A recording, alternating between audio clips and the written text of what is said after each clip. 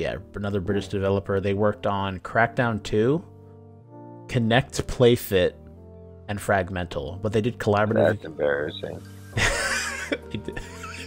I would never admit that. Do you, what games have you made? Well, we made three. Well, what are they? Uh, we with this one for PlayStation, and we made another one for computer. What's the third one? We made two.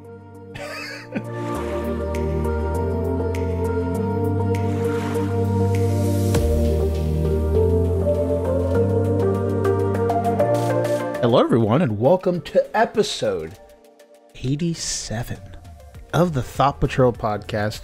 We are back here to talk to you about potentially non interesting things. And boy, am I excited. So, this was. No, man, we planned it. Not interesting. What are you talking about? This took work. exactly. I went on uh, my research sites, aka uh, any like IGN, GameSpot, stuff like that. I'm like, let's find out the least popular articles from the week, and we're going to talk about them. So, uh, actually, nothing really has happened this week. Nothing major, but uh, we still have some some news to cover. So we're going to talk about that when we get there. It's just me and Sean this week. Caitlin has abandoned us. Yeah, I know what else is new. But uh we I had asked, I like sent out a call. I'm like, boys, we got a third spot available. I know it's coveted. Everyone's clawing for it, but we got a third spot available and we need the hosts to step up in this time of need to to add that additional layer of conversation to our podcast. And what do you know? like Tyler was the only one that responded and he said he couldn't. And the other like four people in that Discord or that group chat are like, nope. Or well, they didn't. I, they just left us on read if they even read it. TBH. So that is that is uh how we are where we are today. But hey, me and Sean are here. I know you love listening to our voices and us uh, complain about different things on the internet, but who doesn't? Uh, so we're gonna go ahead. Who doesn't? I'm gonna do intros real quick, real quick, real quick. Because again, we're trying to kind of cut time here and there. Make this. Uh, uh, what I'm doing right now is the complete opposite of what we're trying to do, which is uh, segmenting and monologuing and all that shit. But Sean, how have you been, bro? Have you played anything interesting this week that you'd like to share, or has anything interesting happened to you that you'd like to share? A little bit more De- Devil May Cry, and I love that game just as much as I did the first run out. A little bit of Dead or Alive, but I didn't want to get into that because I still have to go back and complete Soul Calibur, and there's an ass load to unlock in Soul Calibur. So, Ouch. but I'm just glad because Dead or Alive is one of the best 3D fighters that I've ever played next to Soul Calibur. I mean, I, Soul Calibur still keeps the 3D, which I'm glad about. Um, and Dead or Alive was just one of the best fighting engines. I always liked it because there wasn't really a lot of your jumps aren't super high. You don't have any supernatural moves. It's, it's all inspired by real martial arts, kind of like Virtua Fighters. Uh, moves were like pulling barbs out of your anus. Like, Okay. It's just a very difficult game to master. Like Gotcha. Virtua Fighter 4, the second edition of Virtua Fighter 4 was really, really good, but it's really difficult to pull off the moves. Whereas um, Dead or Alive, all the moves were a lot more intuitive. And it's very intuitive to chain one attack to another attack so you can create your own combinations of attacks that work for you and how you like to play. Yes, there's the elasto booby stuff going on. Oh, um, bro, it my doesn't favorite seem part. as prevalent in this one. No, They they seem to have toned it down some. Yeah, they said. I remember us reading an actual article talking about that. That they were going to be toning down the booby physics for six, and also making some changes to the game's fighting engine to make it a little bit more uh, new user friendly. I think was the words that they used. That I don't. I haven't. I haven't got to do much with it. Um, honestly, part of its charm was its classlessness. Like you could play it as a normal fighter, or you could just turn on the goof tardedness with the with the giant, you know, weird stretchy jumblies. And yeah, bro. Beach volleyball I don't think you should remove that. I really don't. Like I don't think they should have taken that out. But at the heart of Dead or Alive, the reason why I've loved it is the characters are interesting. The storyline has its interesting parts, and the fighting engine was always rock solid. Uh, the plot. I don't. I eh? always thought that it was easy to pick in. There actually is a plot. The first one, didn't have much of one, yeah, but, I, I mean, the, um, I mean, they the, really don't tell you much. There's I not the like any dialogue really. The plot, you're talking about- Sean, the plot. Yeah. As I as I cup my invisible tits. Yeah, the nipples on the plots. Yeah. Yeah, dude. Um, but the the characters were good. Plus, it has Ninja Gaiden in it. It has Ryu Hayabusa and Ayane and a couple other cameos here and there. So I've always been a fan of the series. I didn't like all the flack it got just because there was sexualization, but we've had that discussion like a bajillion times. So um, outside of that, I've pushed the story forward a lot in Final Fantasy 14, and I watched. I don't know if I mentioned. I think yeah, I watched Rokka the Six Braves, and I finished it, and I it's it definitely was not what I expected it to be. Eh, I was pleasantly surprised. The studio that did it, Passion, is not known for having follow-ups to their. They're kind of like Diomedéa, only for some reason Diomedéa gets more business, and Passion does really good animation. Like Mhm. their animations, they're like really good. Their CGs, eh, it's kind of in between. I mean, Let's it's be better fair. than Goblin Slayer, but not by a lot. Most CG is eh, so yeah, but not really. that- that's also true. It's passable. You know, it, I wish they hadn't used it, but they used it sparingly, so I'm okay with that. Um, but the animation was good, and where with Diomedéa, the animation's usually average to okay. This was actually good. The plot was good. If you, I don't, without spoiling it, if you really, really like twists, and I'm talking about well done ones like Shyamalan before he went poo poo, um, this is good because it starts off like an epic um, quest to save the world, fight the demon lord, little hints of other epic quest shows in there. You know, you've got the different chosen heroes that have to band together and find each other to stop doomsday or whatnot. And then right after they explain that much to you, it shifts into an entirely different genre Dope. and and then you're just glued to it from episode to episode. And I spammed the thing. And I watched one episode, and then I watched the entire rest of the series split between two nights after work, and I loved it. Uh, and I'm still looking for a job in Central Florida that is not uh, slavery Shit. uh, and anal rapage combined. So if Whoa. anybody uh, would like to help, um, I'm willing to submit my resume to the overlords. yeah, bro. Would you like? Oh, dude. Would you like to employ a thick, lovely gentleman? Uh, please let Lovely. us know. Yeah. Did you say uh, what? Huh? You say bubbly? I said lovely. Not listen. Lovely. No, I was agreeing with your lovely. I was Oh, okay. I thought you said bubbly. I'm like, hey, I, don't, I won't. I won't. Lovely is definitely a definitely a word I would not associate with myself. All right. Uh, well, I'm glad you're doing okay. I've I'm like on episode four of Rokka, and I enjoy the characters. That I could say. Story I haven't gotten too deep into, but I definitely like the characters. I think the character design is nice. They're all unique in their own way, um, and it's pretty cool so far. So I'm interested to get back to it. Uh, I'm just behind because I've been told to watch it. Like this is the second time I've been told to watch it. One from Nancy and one from you. So I just got to get through it. I watch it at work usually, so it de- so it depends on the, what's going on at work, uh, and how busy or not busy it is. But I'm glad that you're good. I had I finished Devil May Cry the first playthrough, so I'm not done done. Mhm. But I've gone through the story. Uh, it was very enjoyable. I liked it a lot. Felt like the ending was hella anime esque, which isn't necessarily bad, but uh, it, it was it was it was it was it was good. I liked it. I liked the characters, obviously. Um, the way that they, because they kind of they've been pushing Dante out of the series for a while, obviously, and you'd think this be kind of his last leg in, in the series. But I think the way they have it set up as it ends, there's still opportunity for him to cameo in the future and appear. But I know that they're fully like they're like trying to fully shift the focus to Nero as the main It's, not, it's character. unfortunate because Nero is just not as strong or as compelling a character. No, but uh, I really think uh, Dante, Dante, uh, at the very least, they could flesh the crew out and involve stories that have a wider cast. Because previously, you've only had a small handful of cast members, including the villains. You know, you might have two or three major villains, and you have Dante, and then Lady and Trish would sometimes show up to back him up. Or in two, it was Lucia or whatever the fuck her name is.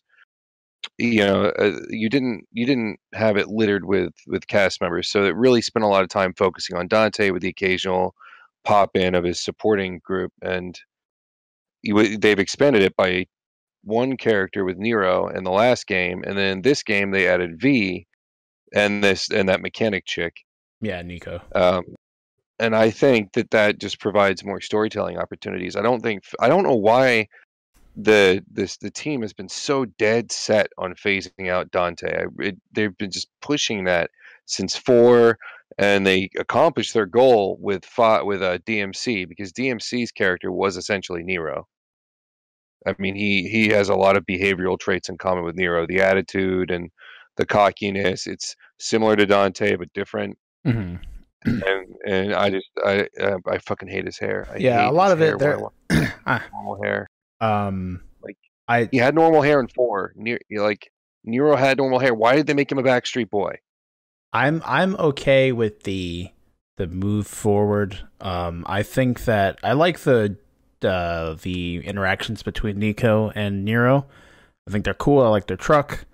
I think the the again the way they converse with each other. It's a nice little what's the word I'm thinking of here? It's a nice little I don't know. Food Every, here, be right back. Okay.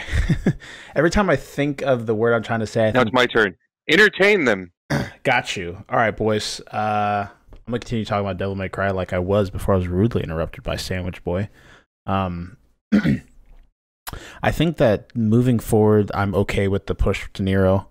Um, again, I like Nico. I like Nero. I like their van. I like the way they talk to each other. Every time I think of the word I'm trying to use, I think dichotomy, and that is not it, but it's whatever. I've done that a million and a half times.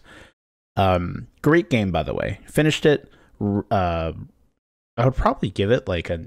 I, I kind of agree with what most of everyone's saying about a nine, at eight or nine out of ten. The music's fantastic. Um, I feel I wish the music played more often, kind of thing. Uh, I know that would kind of, especially since there's only a, like everyone has their their theme. I could get that being repetitive. It's just sometimes I'd be running, especially in the earlier like Qliphoth or whatever that giant tree, um, in the early areas of those stages, you you could just be running, and since you're not really necessarily engaging in combat, you don't really like. It's not you're not really hearing much. It's really weird. Like there's no like predominant track going on that's like that stands out and it felt like empty in a way because when you do go into combat you got like devil trigger playing or v song or dante's screamo song playing and all this going on and it, it just it kicks in and then it's nice. But then like the moment you pop out of combat and you're out of that arena you're back to like ambiance. It's, it's it was very weird. It felt weird. Um so that I that was the only thing. But for the most part, I love the game. It looks gorgeous in the RE engine. Like I can't wait to see more games utilize the Resident Evil engine because it is so pretty. And now we know not only can they make first person and third person shooters with RE7 and RE2, the remake, now we know that they can make fighting games in there, like hack and slash games, which is awesome. So I hope that this engine's very malleable um, that they can do a lot with it, and we could just see more and more things come out of this engine because it's just so damn pretty. And I love looking at Devil May Cry. I love looking at RE2. Those games are fucking gorgeous. Even RE7 was super pretty. So that was um, definitely really awesome. I really enjoyed Devil May Cry for what it was. I guess I could go on with the rest of my week. Um, move move forward from Devil May Cry. Played more Final Fantasy 14. What can I say? Really, I just can't get enough of that game. Recently passed like the 38 or 39 days played mark. So that's crazy. And even just before this podcast, I actually unlocked mentorship, which is a program in the game where um, you get like a little crown next to your name, and it basically symbolizes that you are ready to help newer players and people that aren't too sure of what's going on and also shows that you have a lot of experience with the game as a whole. You have to do there's a lot of things you have to get three classes or basically all three roles. So the DPS role, the healing role, and the tank role. You need one class from all three of those roles. You need to complete the level 60 quest for each of those classes. So basically you have to get them all to level 60. That's like step 1.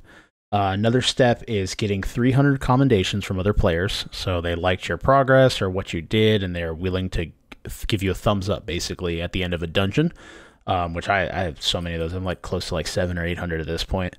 Um,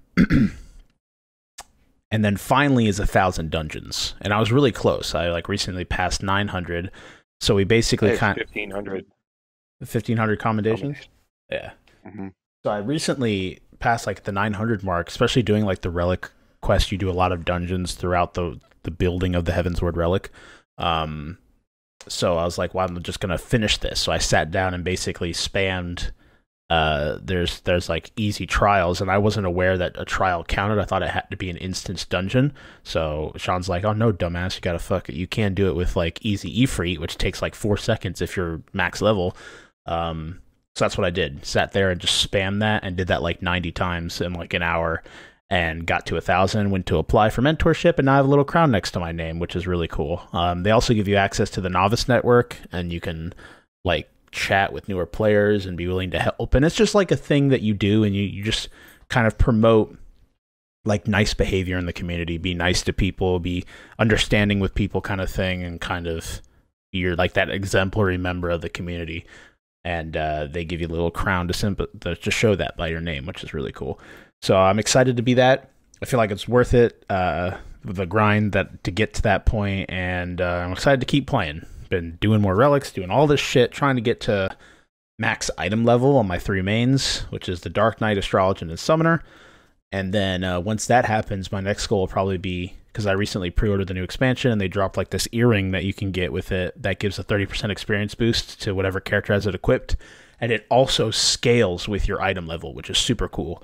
So you could put it on them at level one and keep it equipped all the way to 70 and um, not have any issue with it. So uh, maybe leveling some alts because I have a bunch of characters that are like between the 50 and 70 mark. So I could just go on them and just push them all to 70. So when the expansion drops, the only thing I'd have to do is get them all to 80 and then go from there. So definitely excited, but I'd rather get my three main characters to close to max item level first and then um, do other things after that. Maybe go glamour hunting, finding cosmetics. Just just so much fucking shit to do. I still haven't even touched Eureka, and that's its it's a whole its whole other ball game uh, that I have to delve into. So exciting to keep playing. That that's about it. Uh, but one other thing I've played recently, which I enjoyed a shitload, actually streamed it yesterday. This will be the last thing we'll move forward. um, so I picked up a game called Cultist Simulator not too long ago in a Humble Bundle.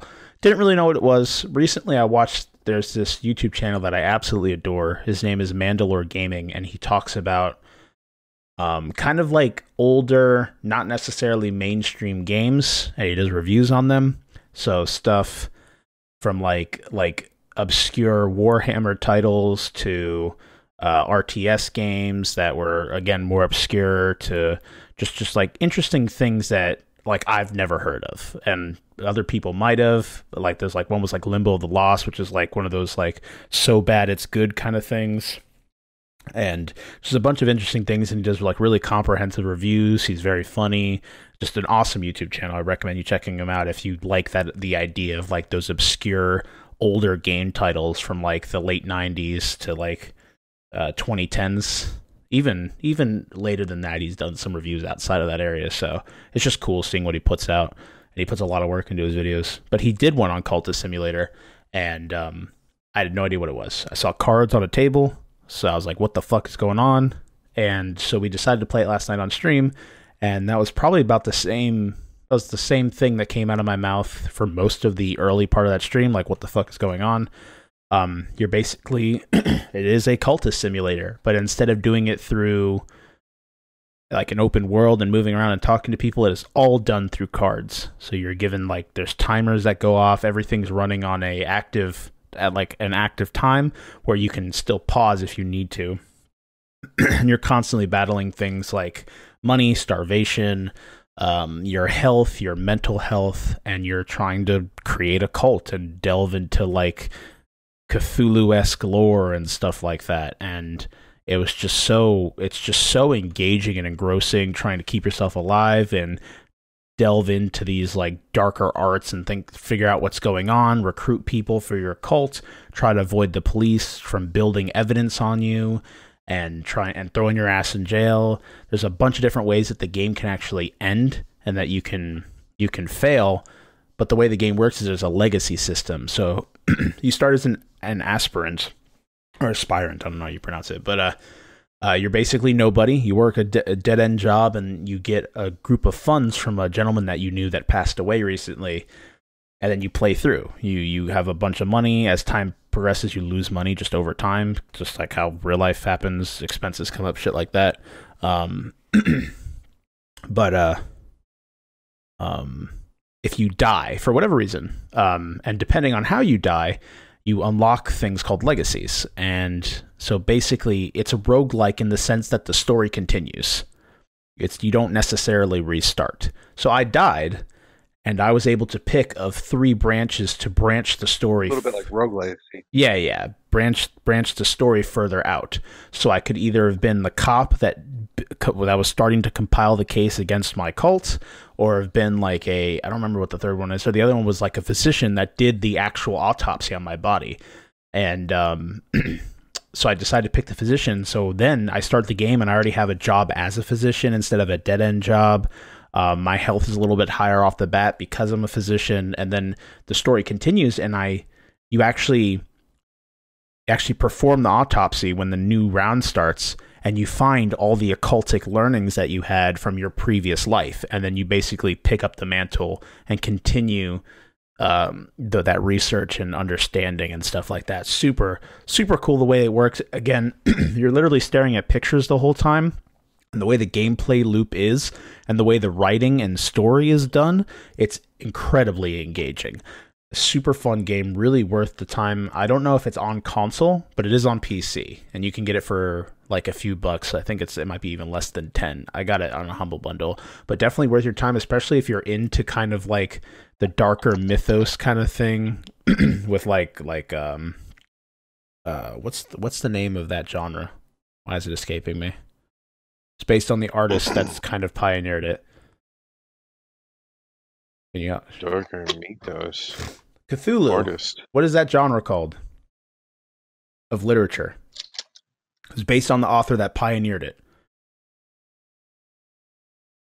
Uh, I've I've only heard macabre. Lovecraftian. man. Lovecraftian. That's the fucking word I was. That's a descriptor, but it's not a genre. It, it it's it's but it's it's like a literature. It's a literature. Uh, whatever. It's there's a lot of books that kind of follow that, like like these these evil, not necessarily evil, but like gods that we have no understanding of, and then learning about them makes things worse. And it, that's the idea. Like Pulp fiction, detective noir, and then hidden horrors. whatever. It's Lovecraftian in its desire. Set in the 1920s. Everything about it screams uh, Lovecraftian. It's really fucking fun, and I I was addicted. I was I played it till like four in the morning. and We were streaming it. Bruce, are you retarded? fucking hate this dog.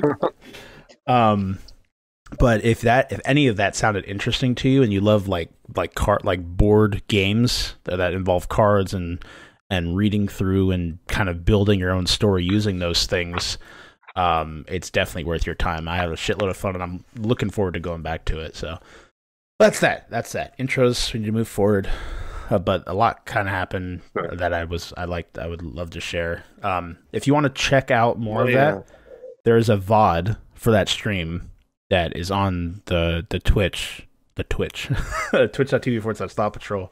And that's the first three hours of me playing and trying to figure out what the fuck was going on.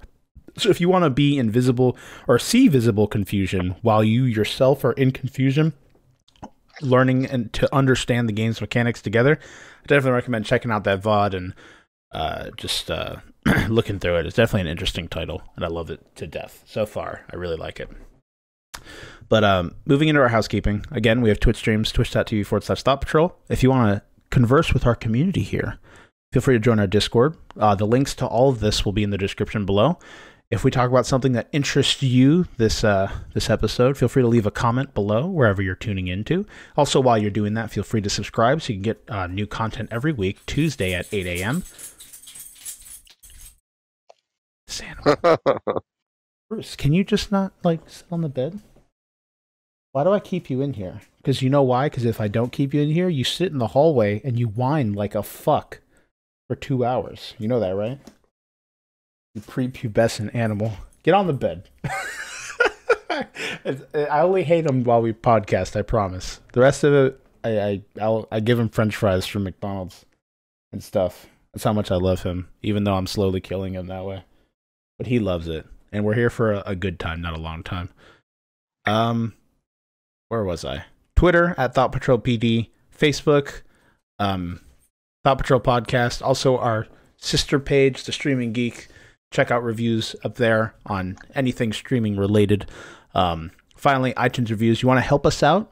Have us show up in like the algorithm and shit, so we uh, get our name out there. Um, feel free to leave us a review. It'll help us out a lot, and we'd really appreciate it.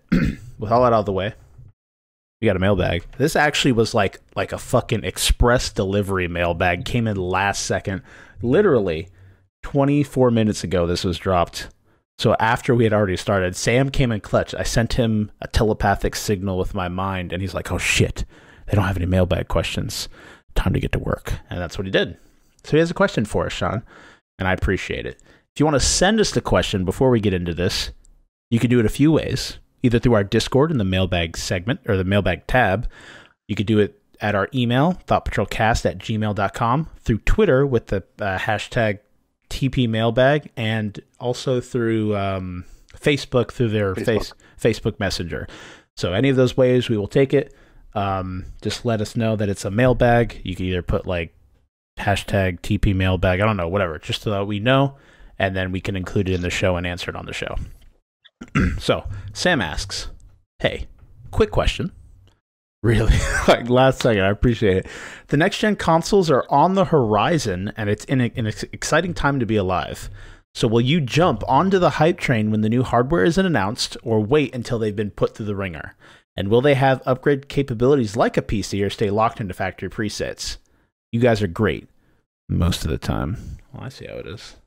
I see how it is. Sam, I see how it is.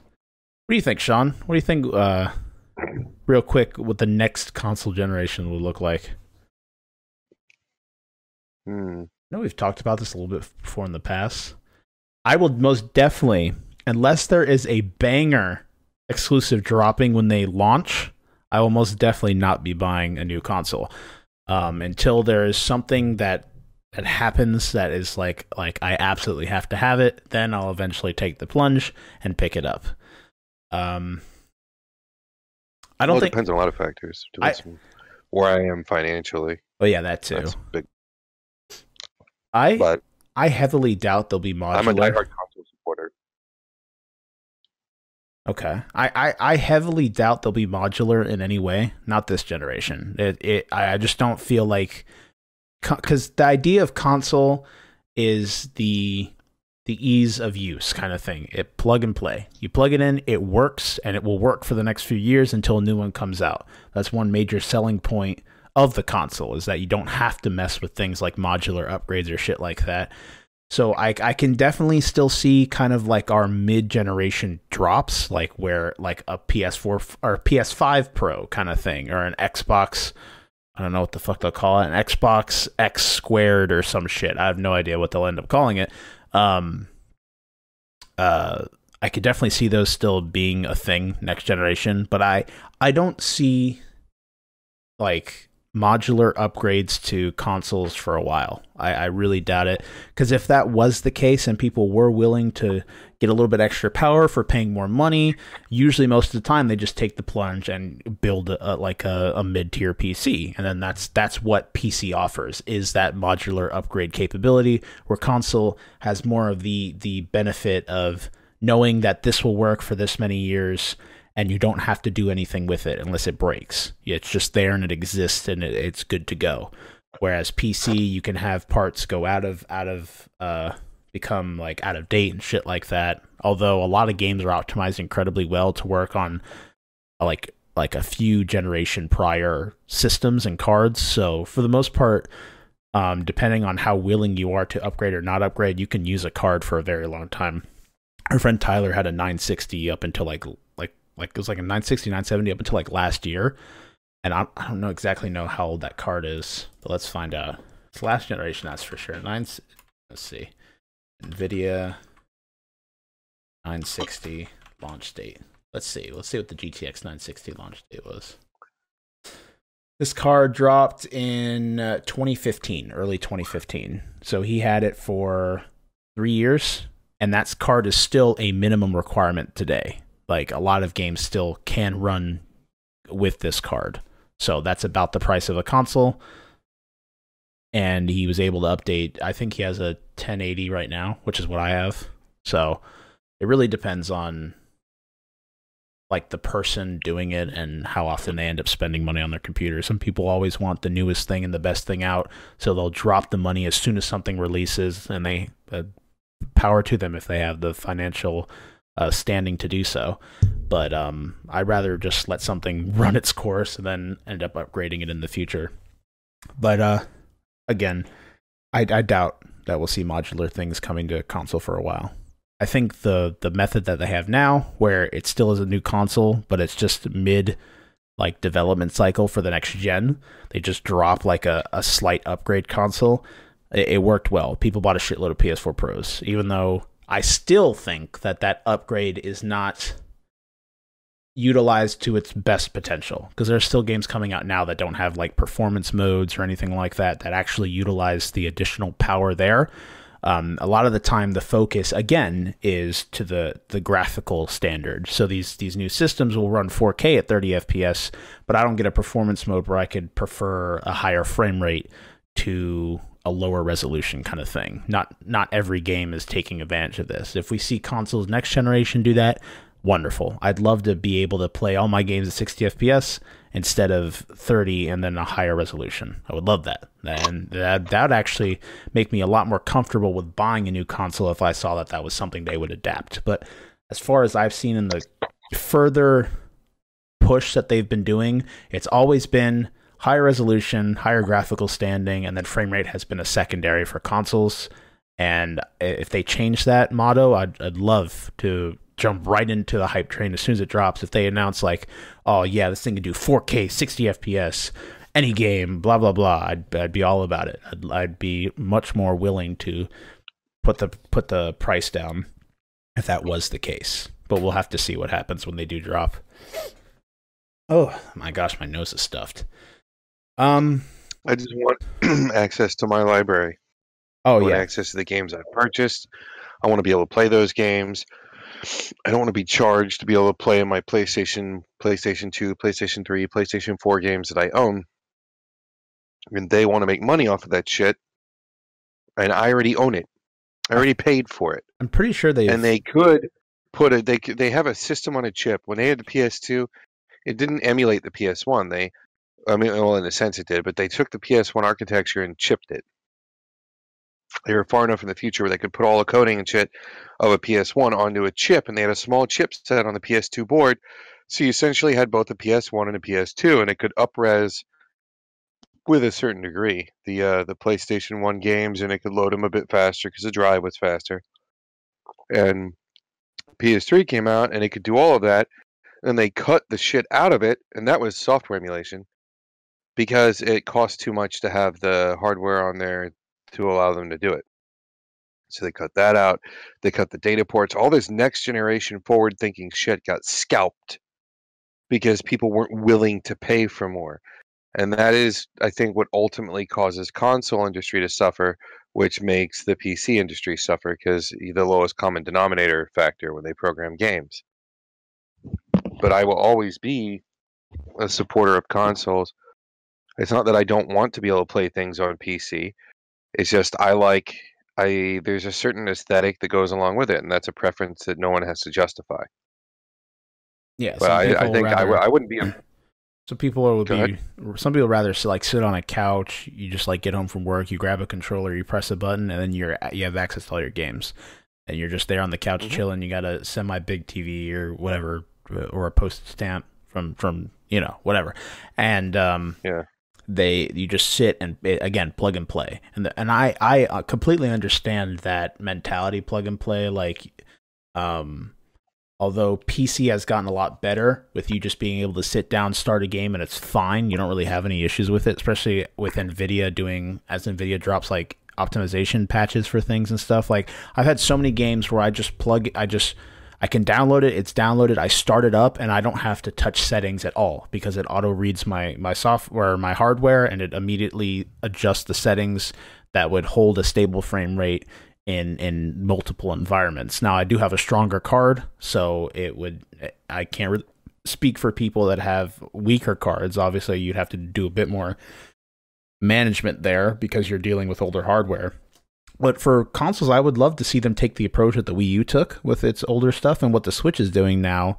Well, not with having to pay for it, but like emulation, just have everything software side, and um, you just have access to your games. Now, I don't know how they would The thing with that is I don't know how they would guarantee that you actually own something if you've purchased a disc a five years ago. Reader, and it's that that recognizes the disc isn't proper for the system, but it's an official disc, and there's got to be identification tag stuff on on disc to let you know what the software is on the disc, or it could be programmed to learn. Yeah. There's, I mean, there's uh, there's different options. But P- Sony has Sony, or at the very least, don't gouge for the re-release. If you're going to sit there and make me buy Final Fantasy three again or Final Fantasy five or something like that, so that I can play it. I, that's just an example because I don't expect to see fucking Nintendo shit on there. But if you're going to sit there and make me pay to have that game when I own it, uh, for cheap. one of your systems, then make it cheap, like five bucks a pop or something like that. Don't gouge for that shit because you will have a hundred thousand people all diving in to buy. But when you're making them twenty and thirty dollars, you know, or yeah. at the uh, or like I said, have that reading software that can read that there's data on the disk that belongs to a certain game on a certain system. Okay, you own it, and then you get a discount on the download, or you get to download it for free, even if you can't read the disc. Yeah, it can at least tell what kind of data is on there. I know, you know Sony's stance they've kind of learned from the PS4 launch is that they're, and I it was rumors mostly, but I've heard back to like PS I don't even know it was, it was either PS1 or PS2, but all games would be playable on the PS5. Like that's like the rumor circulating, and they've come out and said that they have they've changed their stance on backwards compatibility. So there'd be that I think there's a high chance that the PS5 would offer that, especially since Xbox done very well with their backwards compatibility and keeping their fans happy. Well, in that regard. absolutely You'll absolutely be able to play PlayStation 4 games on there. Oh, and there's yeah. a good chance you might be able to play PlayStation 3 games on there. But one and two games, besides the ones that are released slowly here and there, is like these classic renditions that you see on PSN. Like there's I don't remember which one it was, but there was a a bunch of talking heads that got together, industry experts, and they agreed that you'd probably see PlayStation 4 and you'd probably see like PS1 and PS2, but not PS3 or they thought that you would see PS3 uh, and PS4, but not the earlier ones because they're going to be on a service or they're going to be download and you have to pay for them, something along those lines. But uh, one way or another, there's going to be at least a decent amount of backwards support. And considering they were the ones that started the whole backwards support revolution, it's a bit disappointing that they were the ones that pulled out of it just because it was going to make the console another ten dollars more expensive or some shit. Yeah.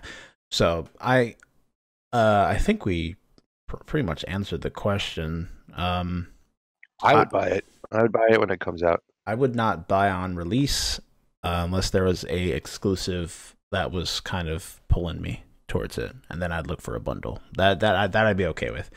Um, but eventually, I probably will get a PlayStation Five because they will at one point drop an exclusive that I will be wanting to get my grabby hands on to play and enjoy, and I will be all over it at that point. But until again that that's basically what my current PlayStation serves as. Same thing with the Switch. They are games. They are used for games that I cannot play on my computer. God of War, um, or then I'll maybe like with the Division out. Even though I really don't care for the setting of that game. Um, if we if it ever goes on sale, I'd be down to pick that up so we could all play that together, kind of thing, or something along those lines. Um, but it really depends on what they what what moving forward they make their priority with these newer consoles.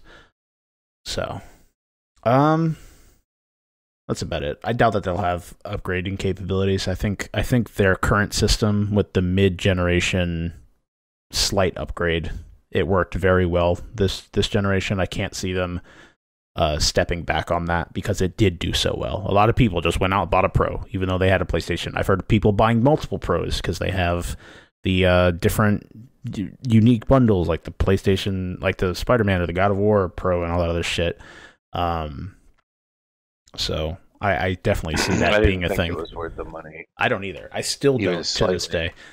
Um, do not think it is. Uh, but because I don't think it's a big enough of a of a boost. The the One X, if the Xbox actually had decent games to play on it, I think that's a, a pretty legitimate jump in uh in power that would warrant a, a purchase. But the Pro, I didn't really think so. So we'll see. Um, I'm excited for people that are excited for the next gen of consoles, but I kind of feel like I already have the next gen machine sitting on the floor. I don't have to wait for it, kind of thing.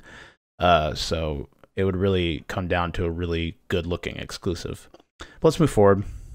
You have anything else you want to add, Sean? Or are you good? No, not really. okay. I don't trust any of them anymore. Uh, the decisions they made with the Pro bothered me. The decisions they made with the Four bothered me. The shit they cut out because of the and it didn't fail, but because the PS3 and its and its bit the Fat Boy that they released was a powerhouse. It was it was truly a next generation console, and it had all of this advanced capability that they know that nobody tapped. They like one, two software designers tapped it, like The Last of Us Mhm. tapped into it some, and it just never got exploited. And so, a machine that was able to do a hell of a lot more than what the 360 could do was getting games that were graphically inferior to 360 because it was easier to write for. So they'd write for the 360 and then port it over. Yeah. And then when they'd port it over, a lot of times they would lose frames. You would lose a lot of capability. Different things like that would happen.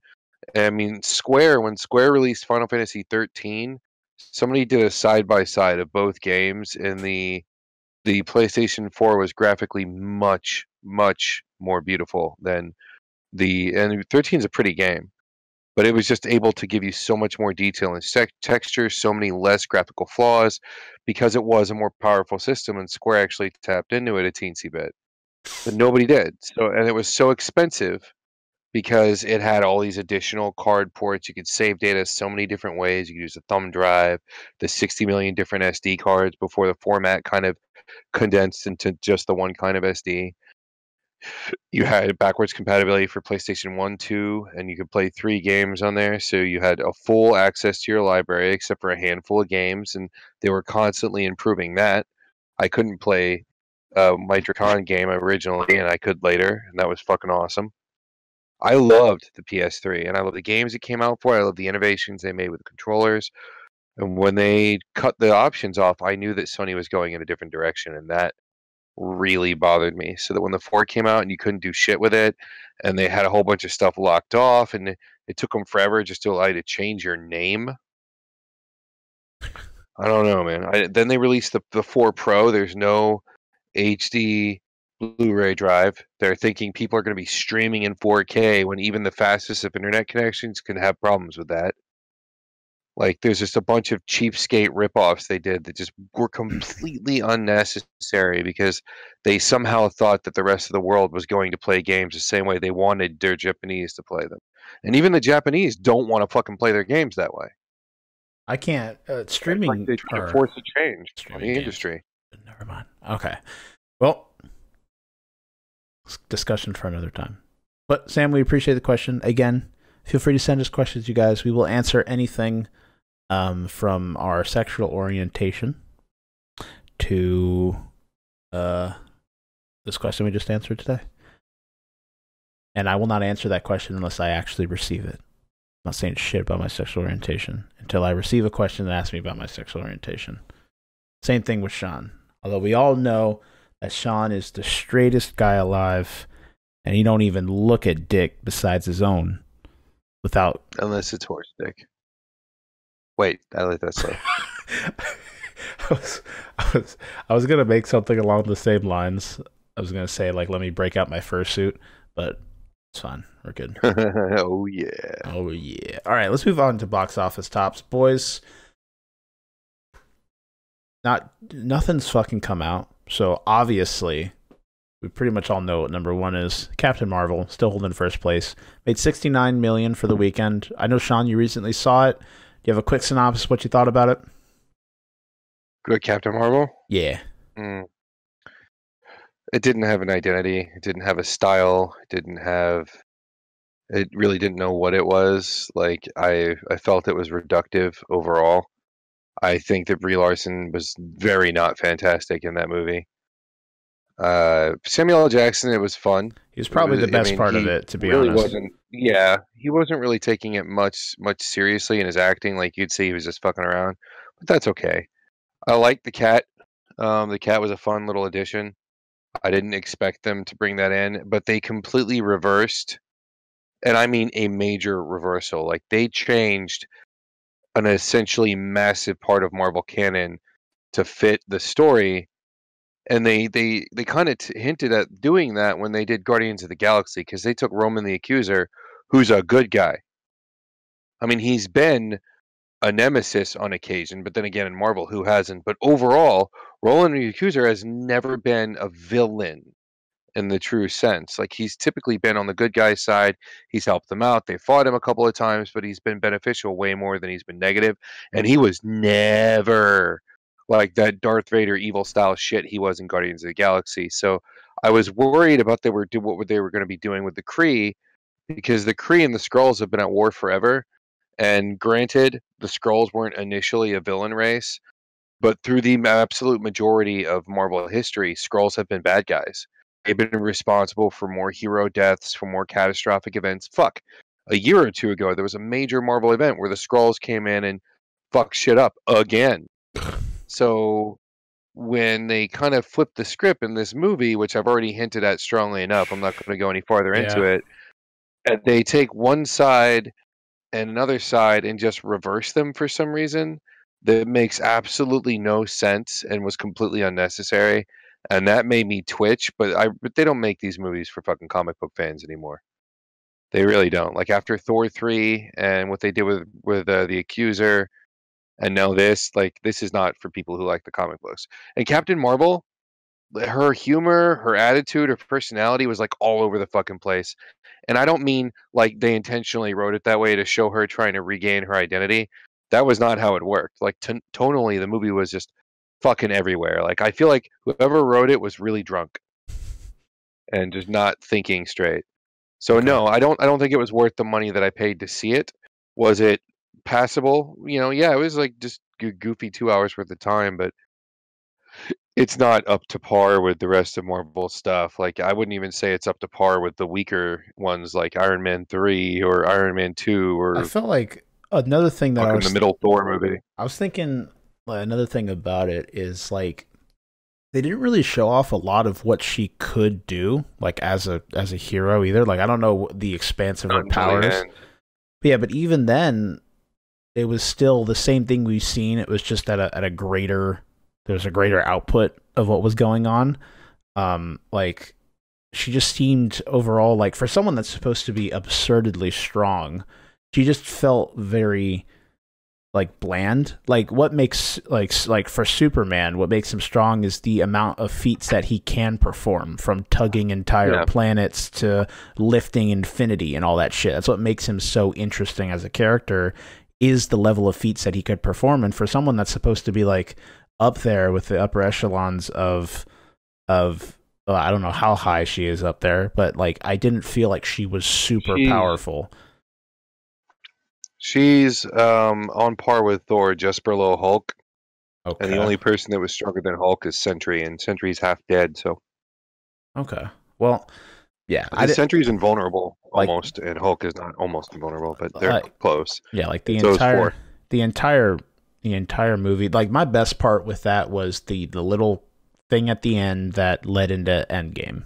I'm not gonna say anything else about it. Yeah, that's like the whole reason to see it. Is Yeah. yeah, it's a stinger. It basically built hype for Endgame, and that, that like that's all it did for me. It's like now I'm excited to see Endgame, and now they have like the new trailer that came out hinting into going into the quantum realm or whatever that they talked about in the second Ant Man, and uh, I, I'm now I'm just more excited for Endgame, and kind of sad that I spent the money. But the thing is, is the way they released it. If you would have waited for DVD, you would have already seen Endman Endgame because you're definitely gonna go see that, and then you wouldn't have gotten the hype that Captain Marvel provided. So I will say this much: it doesn't really. It gives you a few insights as to where some things came from and so on and so forth. But the and not even the stinger doesn't really tell you anything. Oh yeah, no. About Endgame, it does, it does, there's nothing in this movie that you need to see to enjoy the rest of the Marvel universe. Like you could skip it entirely and not lose any sleep. Although Ben Mendelsohn was pretty good in it, but he's always good.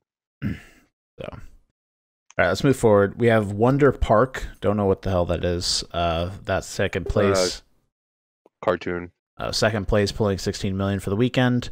Number three, we have Five Feet Apart. Don't know what that is, pulling 13 million for the weekend. Number four, we have How to Train Your Dragon, holding up there with uh, nine million, um, sitting at a total of. Still want to see that. Sitting at a total. That's of, what we should have seen.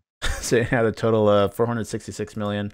I never got into those. I watched the first one and I thought it was good. I just never watched the rest of them. Number five, we have Tyler Perry's The Madea Family Funeral, pulling eight million for the weekend, sitting at a total of 59 million worldwide.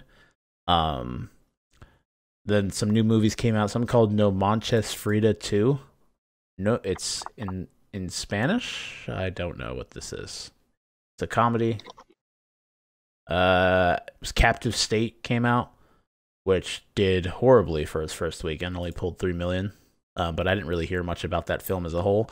Alita Battle Angel sitting in ninth place with almost two million, sitting at a worldwide total of almost 400 million. So that's nice enjoyed that movie. That has to be officially a success by now. Oh no, it definitely is because their budget was only 170 million, so they've almost they've practically doubled it. So I, I definitely think we'll see another film. Thank God for foreign audiences, man. That's all I gotta say. Woo! Thank God for the weebs across shore. That's all I gotta say.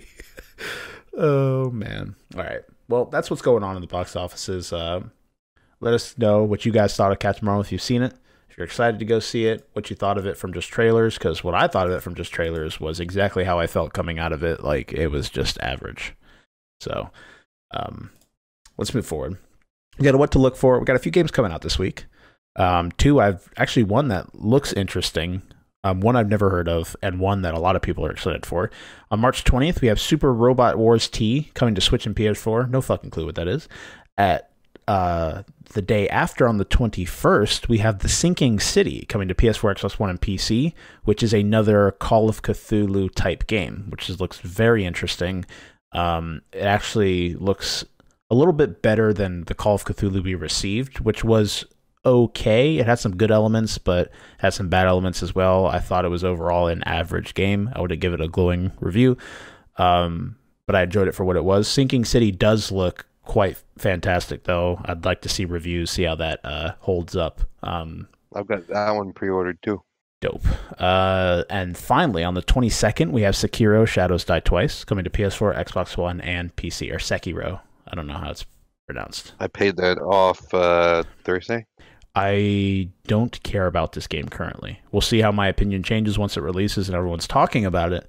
But as of right now, I do not care for it. I've been a I've been a Dark Souls fan, and the game looks interesting, but it looks like more of an action take, and I just want Bloodborne two.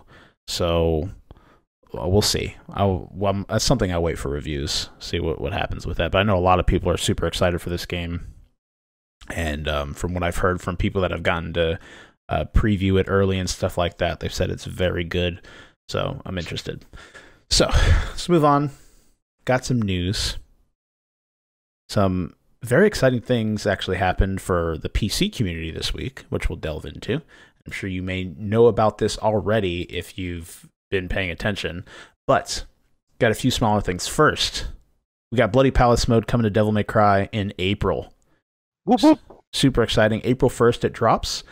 Um, this is the game series staple. It's been in pretty much every iteration of the game, and it is basically a survival based mode um, where you go in, you go basically through increasingly difficult waves of enemies um, while you have a timer ticking down. And they basically have it set up where to play as any of the three protagonists, and you can go in through and um, try and get your try and get a good stylish score and get through the levels as, as perfectly as you can manage. Um, Devil May Cry did launch earlier this month and has already been a critical and commercial success for Capcom. It debuted at number one in the UK and has garnered anywhere from lows at seven and a half to highs at tens. I think it's gotten a, a few tens. Um, Take note, Capcom, and remember DMC and what we told you when you released DMC. what? Maybe now, maybe now you'll believe us next time. Yeah, very very excellent game. If uh, even I would say even if you're not if you haven't played a Devil May Cry game before, I think this game does a good job of introducing you to the game, introdu- introducing you to the franchise, and it's a very good iteration of the franchise. So, from heard from a lot of people that have been huge fans of the game that this is their favorite Devil May Cry title. Um, I still I liked three a lot, but again, that was a long time ago. So it may be nostalgia that I'm looking for, but I really, really do like five. I would definitely give it a nine, which I said earlier. Um, I enjoy that game to death. I'm excited for Bloody Palace. I'll definitely be hopping into that when that releases on the first, and uh, we'll test my skills um, because I was sucking some fat ass when I went through the final fight uh, to beat the boss. I'm not gonna say anything about. but if you've played Devil May Cry, you may have an idea of who it is. Actually, you may not if you're still early. I don't know. We'll see what happens. Um, so that's definitely exciting. Cannot wait. Uh, moving forward, we also have an interesting thing. Recently, there was a Yakuza spinoff that was coming out called Judgment, uh, which had basically the same idea but was not connected to the Yakuza um, franchise. But recently, one of the actors that debuted, or not debuted, but that was in the game, uh, was arrested for cocaine he had cocaine on him and he was arrested. And basically, Sega's response, which I find interesting, is they've completely stopped sales of Judgment. So they're not distrib- they're not distrib- distributing the game. It's the it's just they've completely stopped. Um, uh, Sega has received their arrest reports and are currently confirming the facts at the time of uh, well this this podcast. I don't know if it's still conf- I don't know if it's confirmed at this point, was the article that I used to take the notes was uh, a little bit old, like a few days old. So I don't know if it's been confirmed yet. Um, but uh, was I going to say? Judgment already did launch in Japan in Japan back in December, but it was uh, scheduled to arrive in June to the PS4. Um, but because of the controversy, they again they've stopped distribution. Uh, it, it, surrounds uh, Taki, one of the characters, uh, or Taki the the actor, and he plays Kyohei Ham- Ham- Hamura, Kyohei Hamura in Judgment. Yeah, he's voiced by Fred Tatasciore, which is Soldier seventy six in Overwatch and Xur in Destiny in the English version. Um, he's an actor and a musician that's been known for being a member of the band Denki Groove and he's the voice of the snowman Olaf in the Japanese dub of Frozen. Uh, according to the Japan Times, the punishment for the possession of or use of cocaine in Japan is a prison sentence of up to seven years. Um, we haven't really heard full reasoning as to why they've just completely stopped distribution. I don't know if it's a law in Japan that, like, for the distribution of the money, if I, I don't know how they manage that. You'd think that they'd sign him on to do the voice acting, and once he's done, he probably doesn't make any money from sales that go all to the devs. So maybe they can't make money off of a criminal or something like that. Maybe there's something fucky going on with the laws, and that's why they've had to stop distribution until they figure out what happens. Yeah, they they can't be like. I can't imagine them shutting a project down just because somebody gets caught for fucking coke. I mean, yeah, you're an idiot. You're doing hard drugs and gonna fuck your life up and whatever, whatever, whatever. But hey, it's fucking cocaine. It's not like they found a dead kid in his trunk. Yeah, I I, I don't necessarily know. I think it may have to do something with the uh, the way that the laws work in Japan because I, I I don't know of another case where something like this has happened. But I don't. If something like this in the states happened, I can't see because we've had actors get in trouble for drug use before, but it, I don't think it. They've got in trouble for worse but like would it nece- I don't think it would necessarily affect the, any current like airing projects that they have going on. I mean, it may it no. may it may halt future ventures. That's for damn sure because you won't have anyone sign you when you're like a convicted uh, um, criminal and shit like that. But I think it may have something to do with how they receive their money. I have no idea, but Capcom hasn't really commented on it either. As far again, as far as the time of us recording this, so definitely an interesting little thing to happen. Um, and uh, be interested to see what happens if this even goes as far as affecting distribution to the West overall. If they even bring this game to the states and see what they do, I have no idea what Cap or uh, Sega has planned. I think I said Capcom earlier. It is not Capcom; it's Sega. But um, Yakuza, the Yakuza games are great, though. I definitely recommend you try those out. They're very interesting, to say the least. Super awesome, super awesome stuff. So the biggest article that's happened over the last week is uh, it was confirmed that the Master Chief Collection will be coming to PC in the distant future, or not so far distant, but in the future. Um, it was finally made official by Microsoft. They said it'll be coming to PC later this year, 2019. Microsoft said the PC edition was specifically built for the PC audience, but we don't know entirely what kind of PC features may be implemented in this build of the game. Um, they did confirm that they will contain campaign and multiplayer support, uh, which is great, awesome. One thing I would love to see, and I don't know if if they'll have like co-op campaign over the internet kind of thing. That was my favorite part of the earlier Halos was playing through Halo 3 and doing the missions on Legendary with your friends. I love that shit, and I would love to see that come here as well. Um, another thing that people are kind of unclear about, and I've seen a little bit of stuff about this on Twitter, is that if people own an Xbox One edition of the game, will they get the PC edition for free like the other Xbox Play Anywhere titles? They haven't really said anything about that. Um, but 343 has stated that they are working to critically ensure, basically, was their words, that Master Chief Collection for PC is a first class PC experience, making sure these ports all work well, that doesn't have any issues that the Xbox One edition has. If you guys had it on the Xbox One, you know of the multiplayer problems that happened with the matchmaking early on, with it taking forever to do anything in the Master Chief Collection on Xbox One.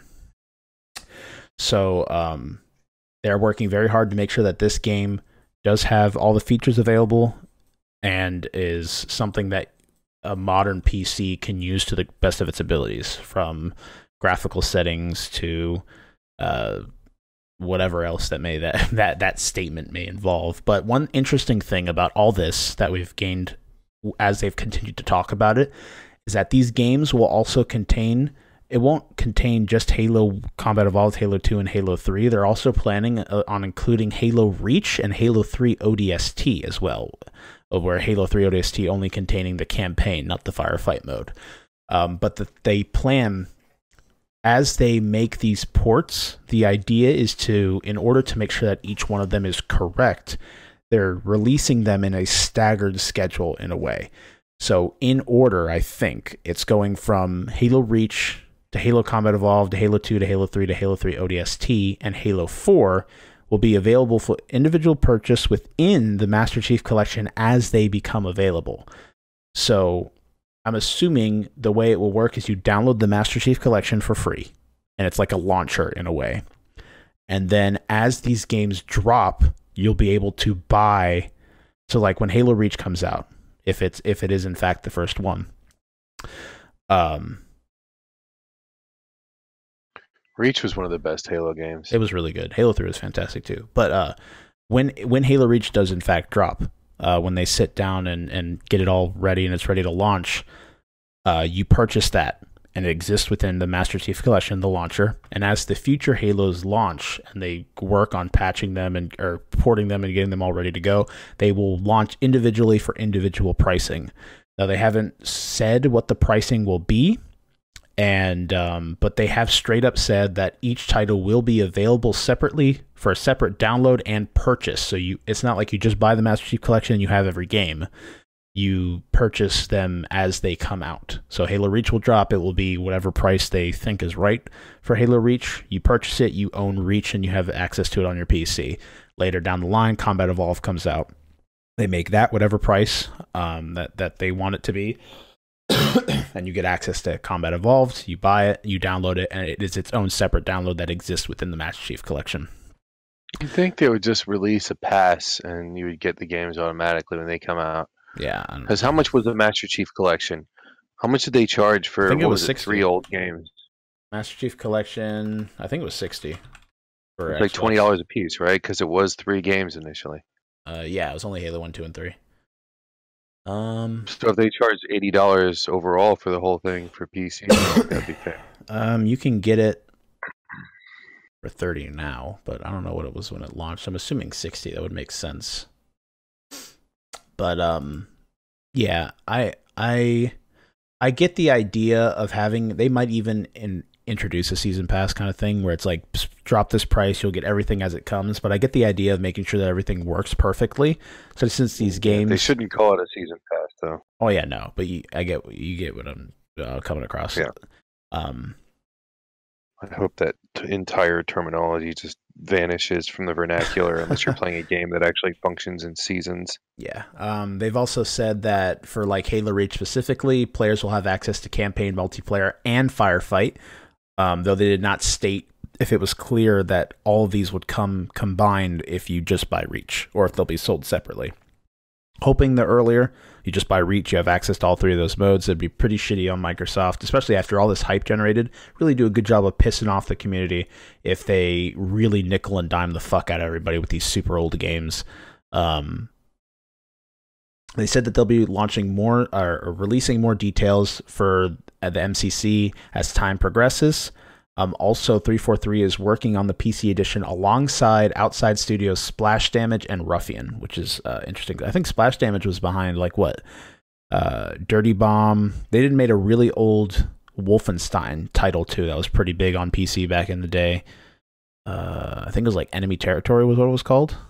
Was that Splash Damage? Let's find out before I just talk out of my ass for no reason. Let's see, Splash Damage. They created the mod Quake, Quake 3 Fortress. Oh yeah. Yeah, they did- I know where they. They did Enemy Territory. They did Brink. They did Dirty Bomb, which failed. They did Gears of War Brink was 4's garbage. multiplayer. Interesting. Yeah, Wolf- Gears still has hands down the best horde modes. Yeah, dude, Wolfenstein Enemy Territory. I remember hearing so much about that game. Like it was like like in like the top 4 played games when it was in its prime, like right underneath like Half-Life. It was like a free to play game. Um, that's interesting because they, they have a lot of well they've had a lot of good experience and a, a lot of bad experience with um, development on PC shooters. So that'd be interesting to see uh, as long as 343 holds them in line, I'm fine. And I don't even know who the fuck Ruffian is. Let's see what they've done. Ruffian. Ruffian devs. Let's see, let's see. Um, Ruffian Games, another British developer. Right? Yeah, another British developer. They worked on Crackdown 2, Kinect Playfit, and Fragmental. But they did collaborative. That's embarrassing. They I would never admit that. Do you, what games have you made? Well, we made three. Well, what are they? Uh, we with this one for PlayStation, and we made another one for computer. What's the third one? We made two. yeah, no, um, uh, we didn't work with the Kinect. Listen, I didn't even know that was a thing. Was that a thing? Did they have a? Wow, that's a terrible idea. wait, we did. Thank God. we also did. failed. Oh, yeah, we also did collaborative titles on Kinect Star Wars, Nike Kinect Training, Kinect Sesame Street, Kinect Sports Rivals. What? What are you talking about? That wasn't us. yeah, man, that's that was that Joel Schumacher guy that fucked up Batman. Yeah, that's who that was. Wow, they really. I wonder what they'll be doing here because they're only the like they did, worked on Crackdown 3's Wrecking Zone, which was also, from what I've heard, awful. So I mean, Crackdown 2 is a good game, but that's like the only thing here that sticks out. I don't even know what the fuck Fragmental is. That's 2017. Crackdown Three is embarrassing, also, It is but embarrassing. not nearly as embarrassing. Like, how do you spend that much time and then just have a on a game release. that that many people have wanted, and then just it's not, it's like unrecognizably bad.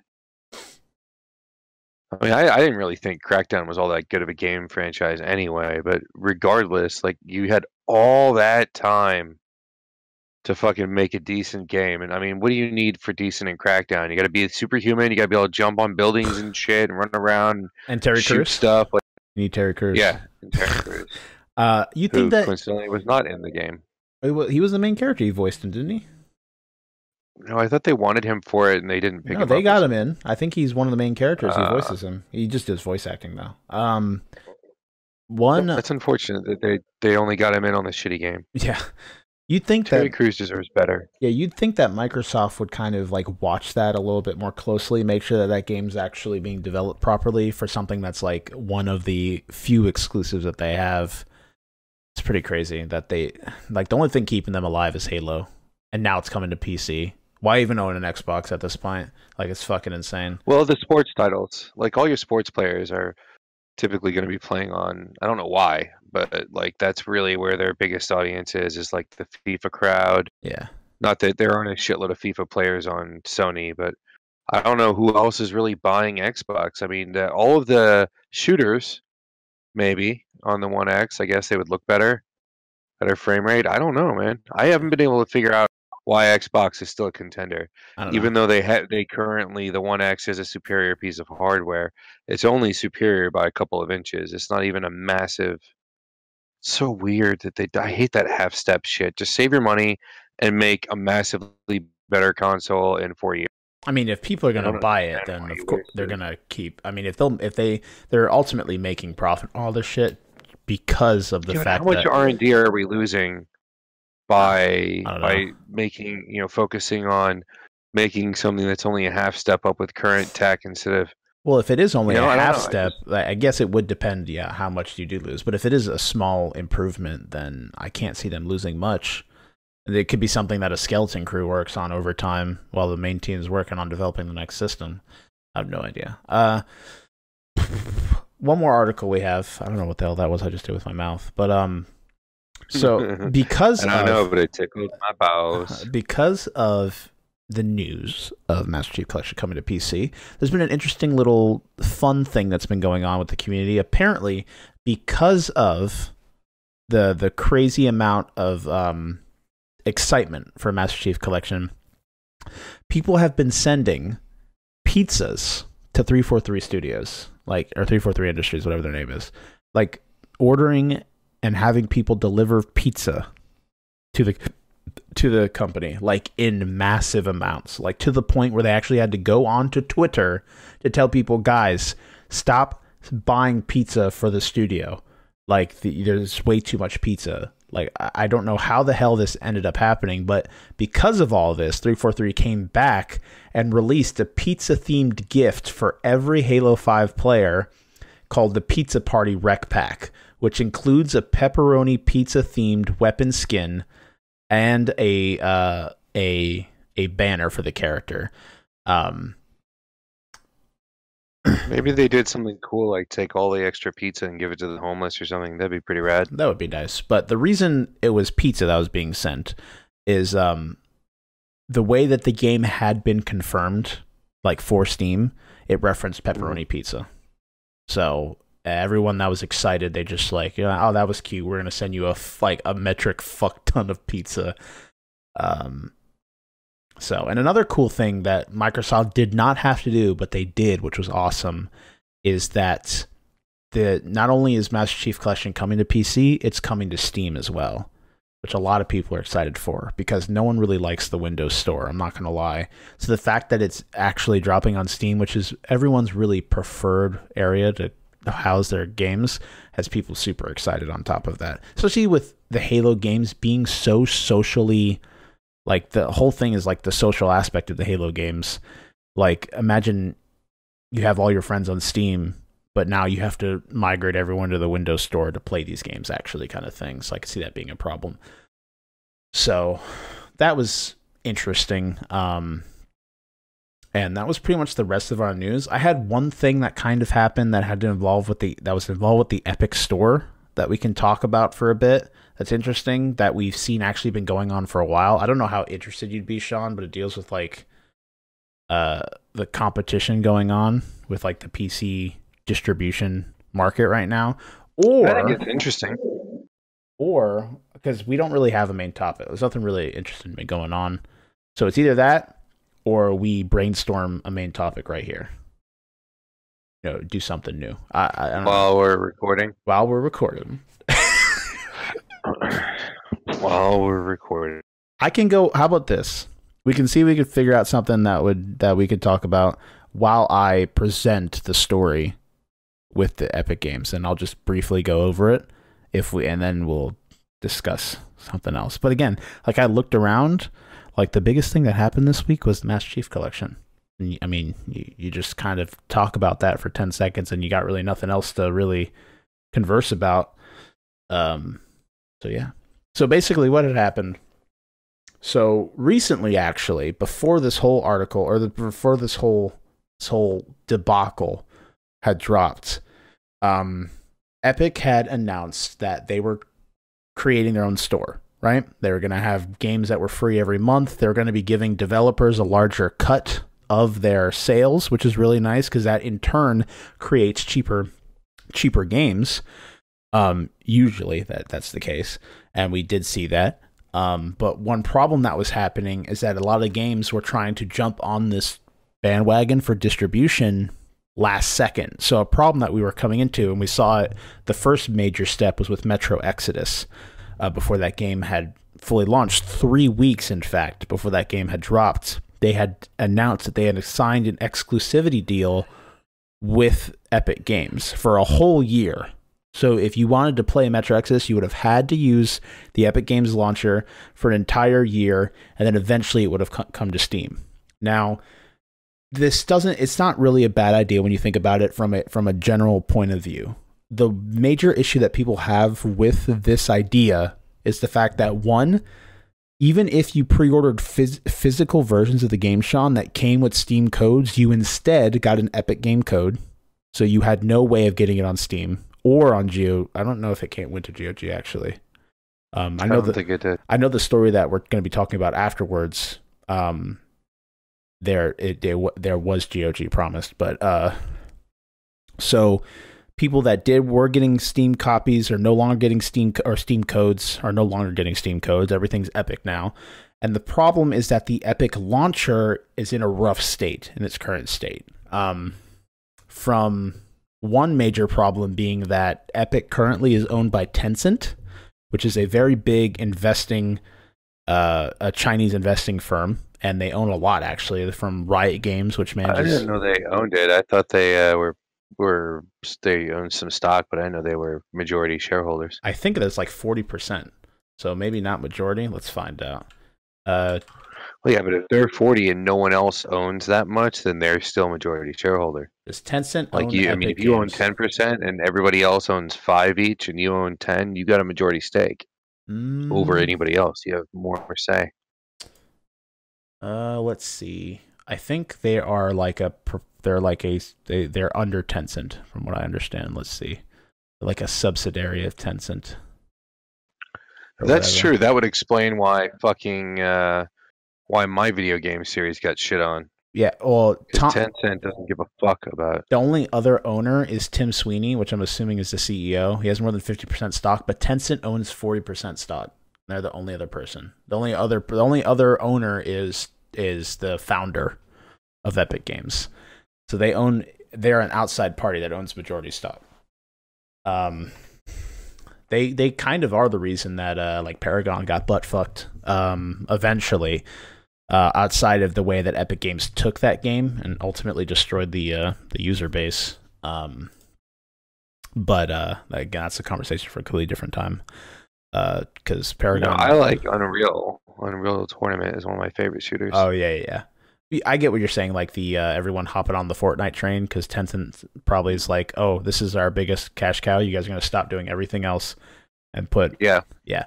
Um, but basically, uh, what it came down to is, um, people were finding that there were security breaches, like large security breaches. And the one thing is, Tencent has been known in the past for selling data. So, like, uh, and not that it's a it's, Chinese company. What do you expect?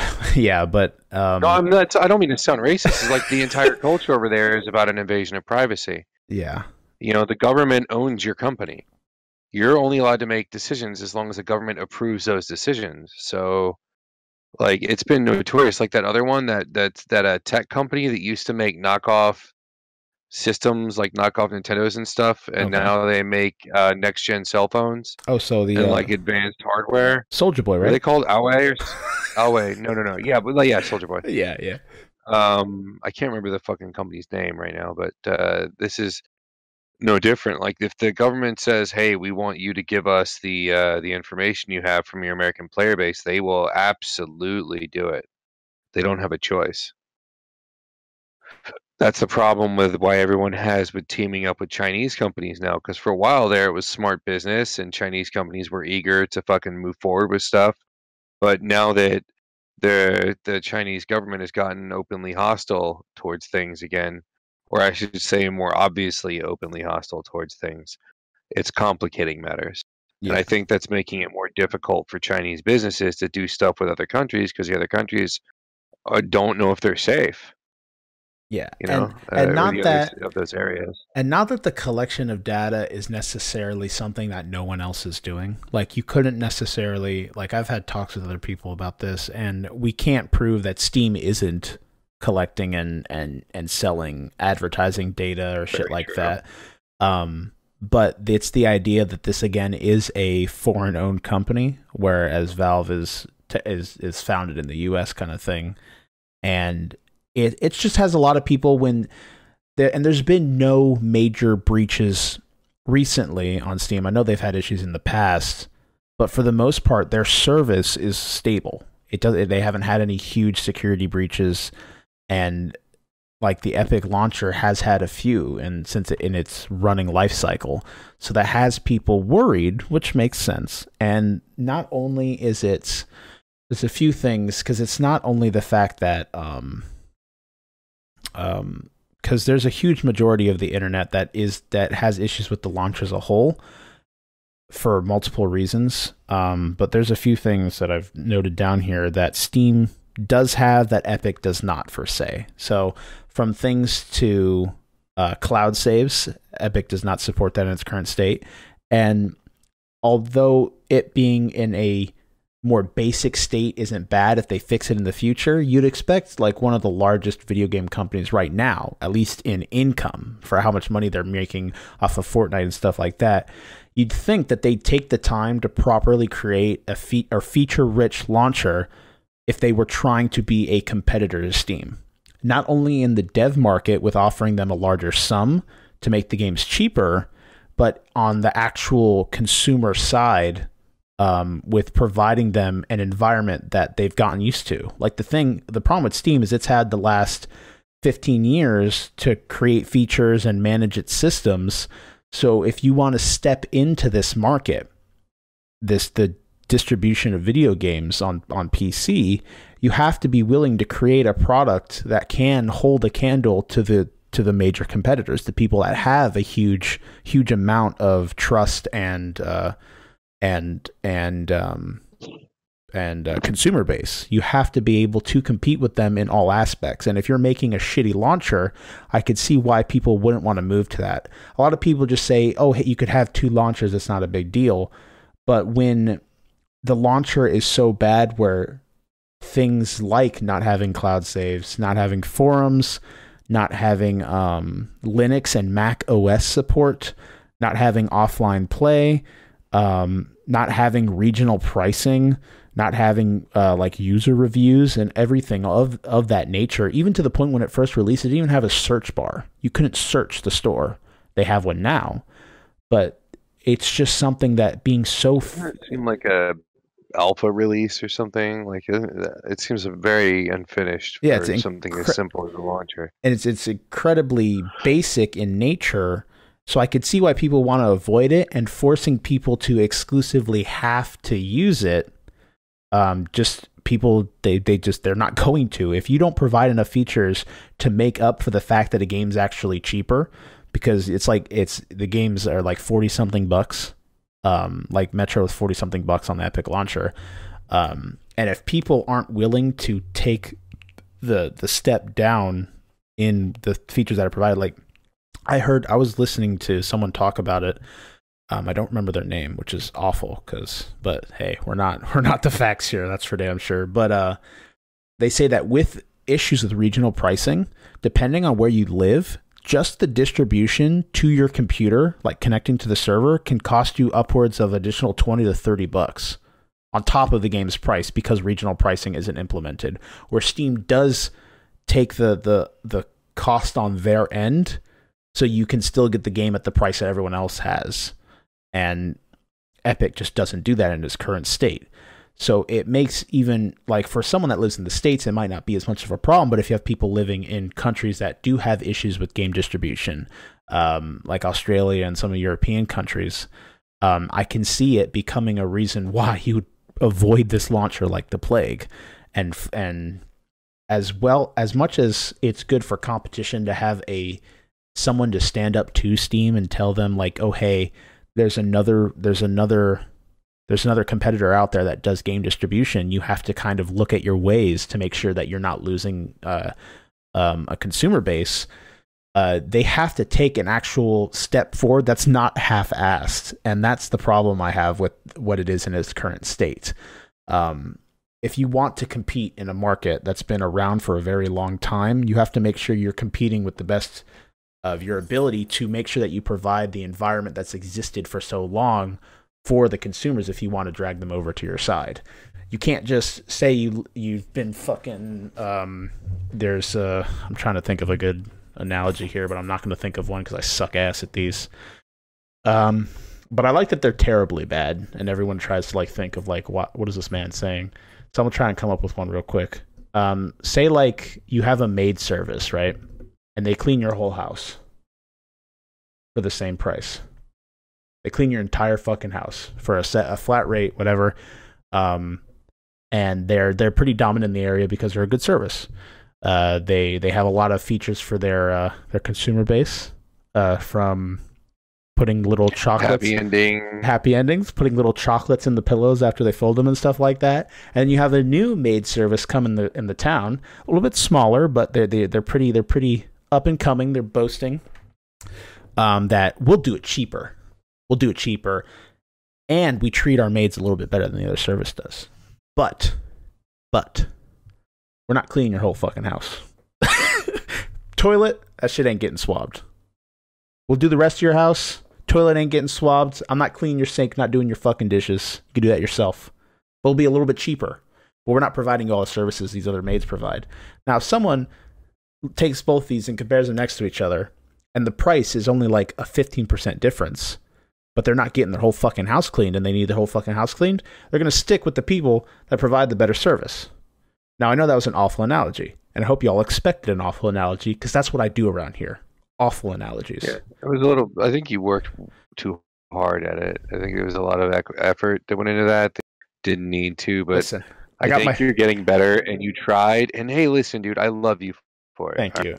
I, it's it's hot you, in here. You you. My head's spinning. I got the fan off so it doesn't make any noise on the mic, and uh, my balls are stuck to my ass crack. So I, I'm just uncomfortable, and I had to think while having the notion of the fact that my balls are stuck to my ass crack in the in, in the back of my mind. Nobody and, wants ass balls. That's... it just made that so much more difficult than I originally intended it to be. But the that that's the idea, and I and I get it. Usually, the internet overreacts. That's their job. And I feel like there's a slight overreaction here, especially if you live in the States and you don't really have to deal with other things, like some of the more major issues, like regional uh, regional pricing and offline play and shit like that. Um, I could get that. But people are that have the right to their opinion, and especially in a consumer friendly marketplace, people should be able to vote with their wallet. And you shouldn't tell someone they're dumb because they don't want to spend money on a company that's giving them less features kind of thing. So, and again, you're you're uh, uh, eligible to your own opinion in, in, the opposite of that manner. Blah blah blah. But I understand where people are coming from, and that from what I've heard from like surrounding Metro Exodus and this new game we're going to talk about real quick, that not only is it the biggest problem here is that it's being done late in the development cycle, especially with this new game. It's called it's called Phoenix. Oh fuck, it's called Phoenix Point. It's made by one of the devs that broke off from the XCOM team and went to go make his own game. So it's an XCOM style game. And it was entirely fundraised. Um, basically, they it was fundraised. They signed a deal with Epic late in the development cycle, and that deal forced exclusivity. So they're now they're exclusive to um, Epic, the Epic launcher. Where even if you look on the the the game's website, in their frequently asked questions, they have will this be coming to GOG? Will this be coming to Steam? And up until the deal was announced, that was the case. People who backed the game early were getting those copies. So they were promised the fact that they would be uh, getting a Steam copy and or getting a GOG copy, depending on what they chose when they backed the game. But now all that's kind of fucked because they've just, they've signed this deal. Now the good thing with these exclusivity deals is it's more money going into the game's development for future content and stuff like that, so that it's not necessarily all bad. And I can understand a dev's choice in doing this. But fr- from what I understand from the stories, the devs have actually come out and said that even if, even if every single backer goes and requests a refund for their their their backing money, they will still be in the black. Which means that every single person that funded the game at this point could pull out entirely and get full refunds and the game would still be in a financially stable position. So with that deal signed at this point it's just like it's almost as like for a first of all, don't back games. Like you're basically making an an investment that has no guarantee that it will actually surmount to anything.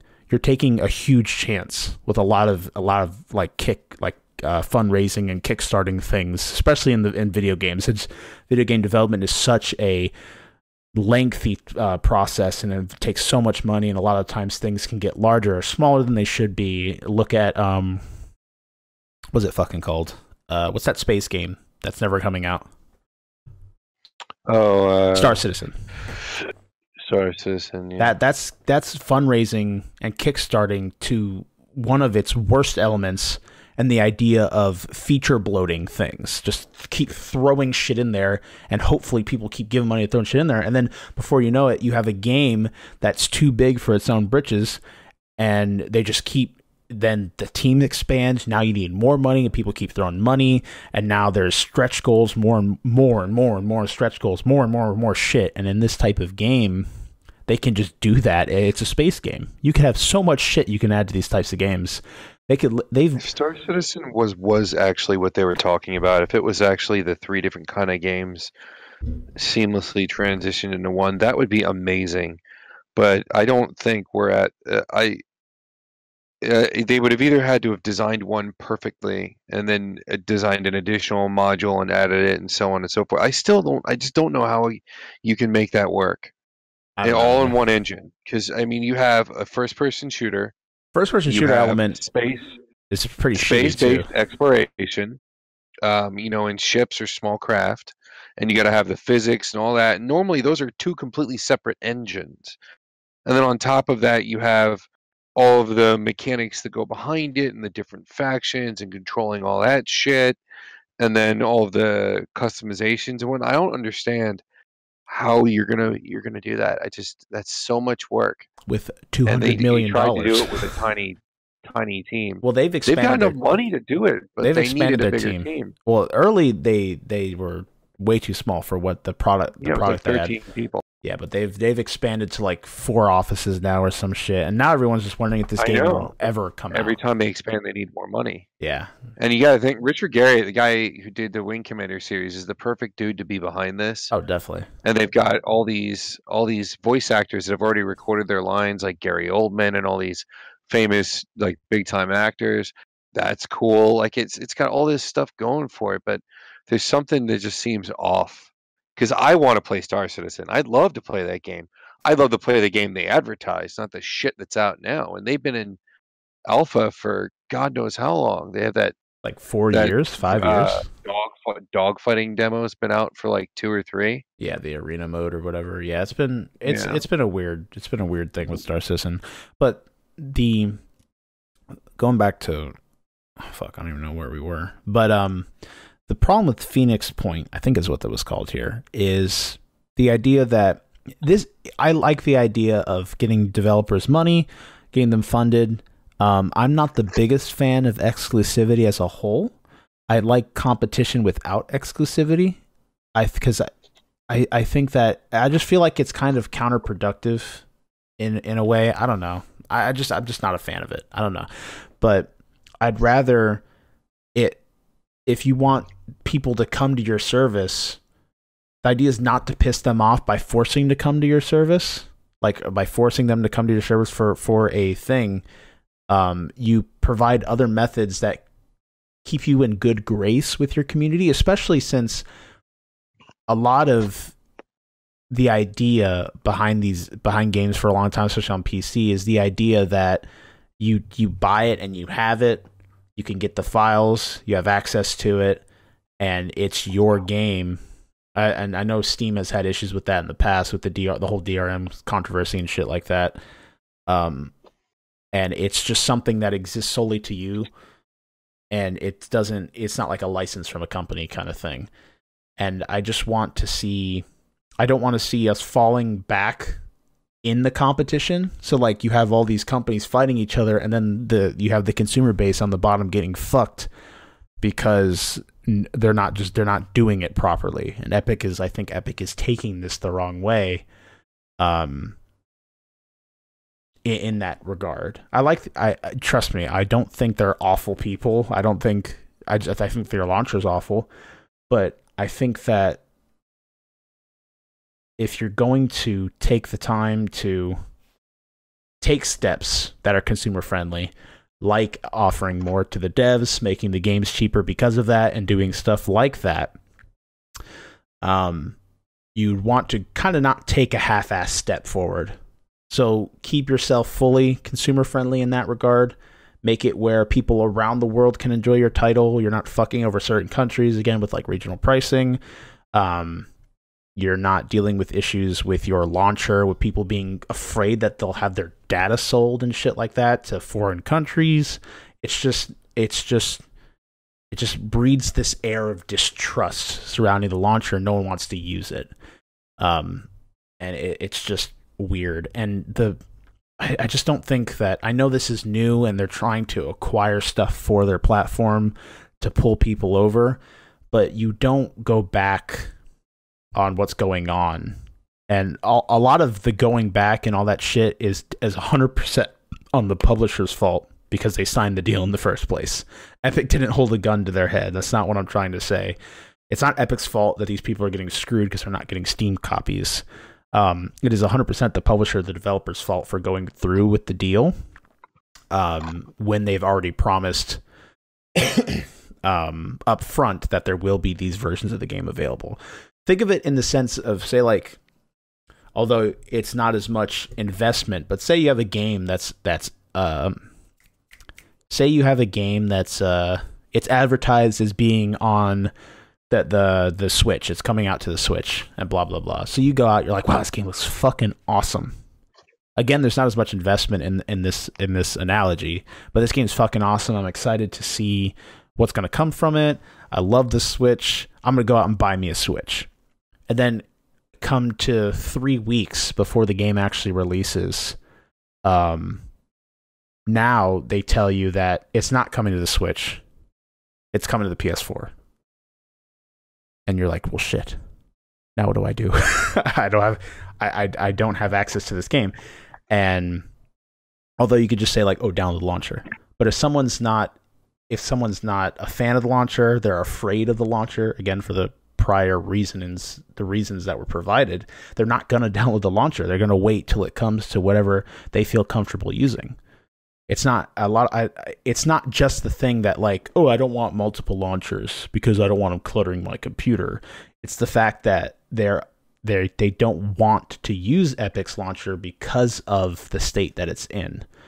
So it's just it's a very weird and interesting thing, kind of growing pains I feel as we get as this this story progresses from the first announcement that Epic will be launching a store to compete with Steam.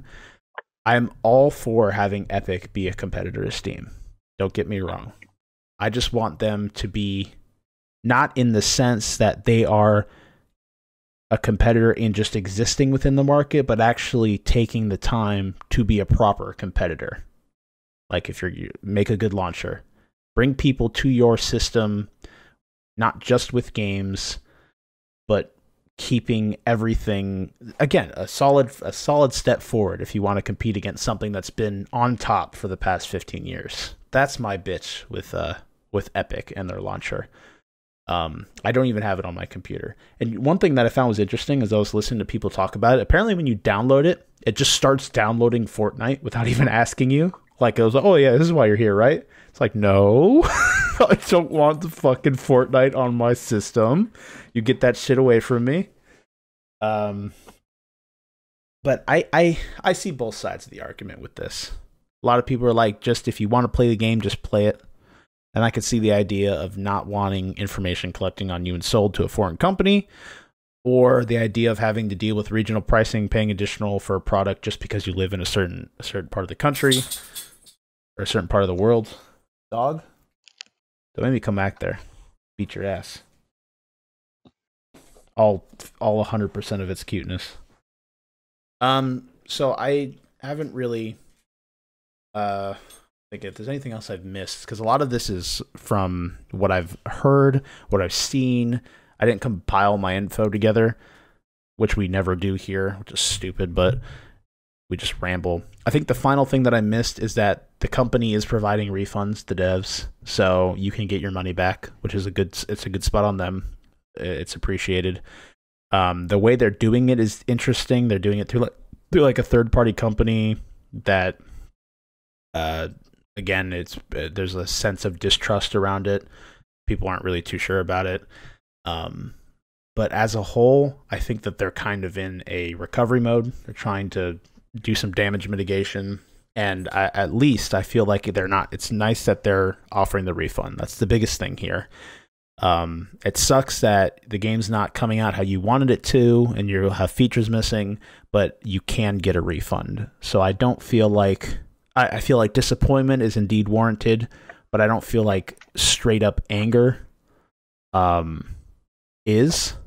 But I, I definitely can feel a disappointment with the developers, with the game, um, and having to wait for whatever that exclusivity deal to come up because the game will eventually come to Steam. It's just I got to wait a year. So I can see that being incredibly disappointing, and I get that side of the argument. But um, it's definitely a, it's a weird thing. Again, definitely a 2019 kind of problem.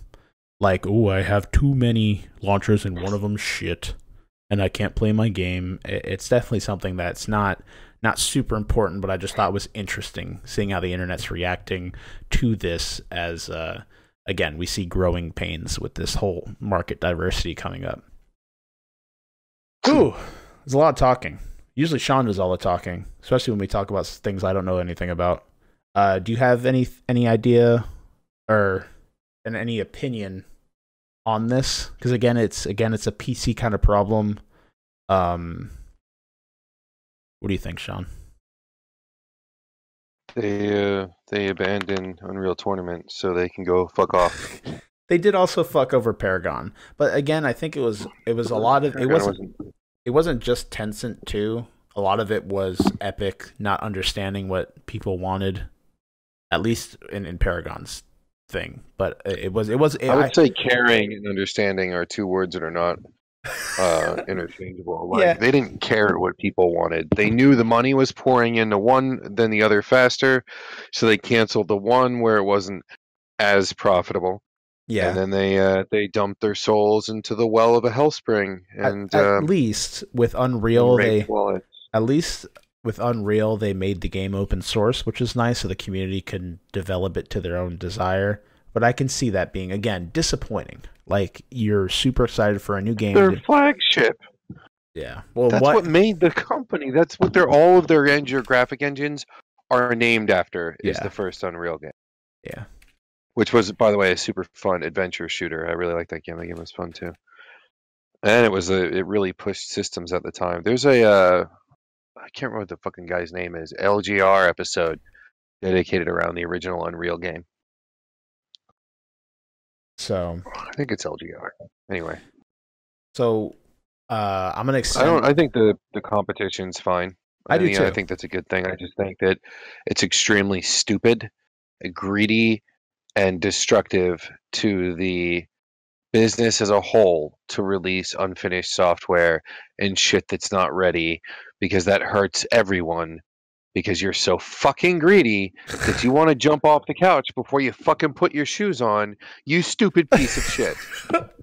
I, I, would agree fucking that sit back down, finish your shit and then put it out there. Yeah, because it's not like Steam is going anywhere, and they were already making. Because I would understand if it was a company that wasn't Epic, but these people have made so much money.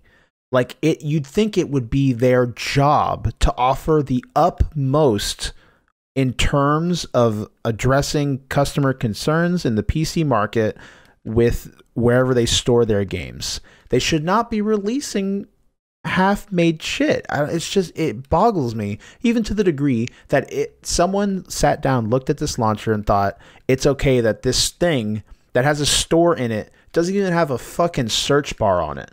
Like just that idea boggles me. It's like we'll just we'll just add them in later, and we don't know how much they even mm-hmm. plan to add in.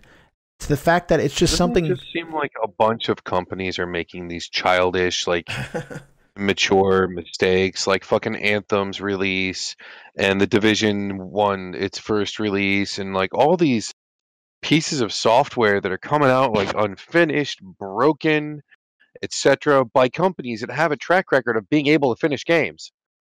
Like EA's been around for fucking ever. They've released a lot of finished products. So why now is it like you're just crippled and you can't release games anymore? Why why are you all of a sudden completely diptarded? This makes no sense. I think And the trend is, is just getting worse and worse and worse. And now it's not just games, it's fucking launchers too. yeah. Uh, Like I, I, I feel like if you fucking do a misstep this big right out the gate, you should just have your license removed. You're not allowed to do it anymore. Give it to someone else. You're done. Just go back to doing your gay ass Fortnite, and uh, and we'll get somebody else to do your job because you obviously can't handle it. You stupid fuck shits. Where's my Unreal? listen, listen. Um, I guess that was the side of the argument I wasn't really looking at. The Unreal, the Unreal Squad.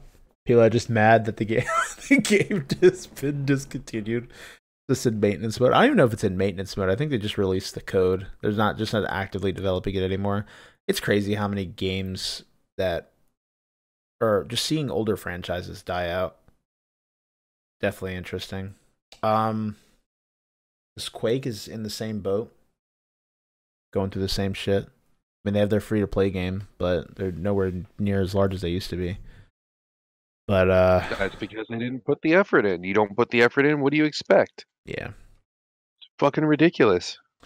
So for the, I'm gonna extend this conversation to the people tuning in. What do you guys think? Do you think, oh hey, it's just a launcher? What's the big deal? That I understand. I and I think that it, it is not a big deal. It a lot of it comes down to where you are. If you need features like offline play, regional pricing, and you're you act you are actively getting fucked by the lack of functionality in a launcher, I could see that angering you. Like it makes sense. That's completely fine. But for like uh, the United States, I, I like I think the biggest thing is the regional pricing. To be honest, offline play kind of sucks too. I mean, if you're like on a laptop or something, having issues in that regard. Um, but it's just it's more of the it's more the principle that you'd expect a company that is large and has made billions of dollars in the last few in the last year or two, all in one product would have enough money to launch something that even be considered decent. It's not even considered decent, like, but it's broken in its current state. And you and, and if it was another company, like they get the same shit. Fallout 76 when it launched on PC got the same exact shit because its launcher was trash. Even to the point where it deleted people's preloaded information. Like you could preload the game, and apparently that patch was empty. So you just spent 70 you just spent a day downloading 76 gigs of nothing and you had to re-download the game when it launched. Everyone gave them so much shit, but just because it was it, at that point, it was fine to give them flack for having a broken launcher. It's just okay. And then now all of a sudden, because it's Epic, I've heard people defend them in the regards that it's just a launcher. If it's the only way that you have of playing a game and it does not work, then that's a problem. So uh, that that's just that's the biggest issue here with the PC community. And I agree for the most part. I'm more on the fact that if it is your job to provide a product to your, to your consumer base and you fail at that job, you should be told you failed so that when you try again or when you work to fix that failure, that you know why you have failed. They know that there's no functionality in their launcher or there's not a lot. So they're working on fixing it. That's fine. The fact that if it stays as it is for longer than a year or 6 months, then there's there's something going on and they shouldn't be getting money. They shouldn't be focusing on pulling people to their system with games. They should have a basic basic um, launcher in play before they focus on trying to bring people over. It just makes sense. It shouldn't not be that way. Imagine a new console launches. Uh, again, shitty analogy. Real quick one though this time. A new console launches. You can only play certain games on that, but its online service is awful. Like PlayStation's had that issue before.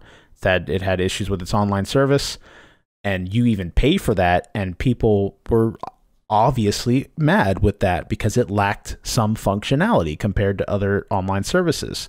So obviously, people told them what was wrong and they fixed it. That's just what people are doing right now. People are not going to touch Epic's launcher until they crack down, make it a competitive launcher to Steam, to other alternatives, and then people use it again. People won't have a problem. That's the biggest thing here. We've sat on this topic way too long. Uh, I guess that was enough for a main topic. It was just me rambling, but we're almost two hours in now. Uh, Shawn, you got anything to add? Yo.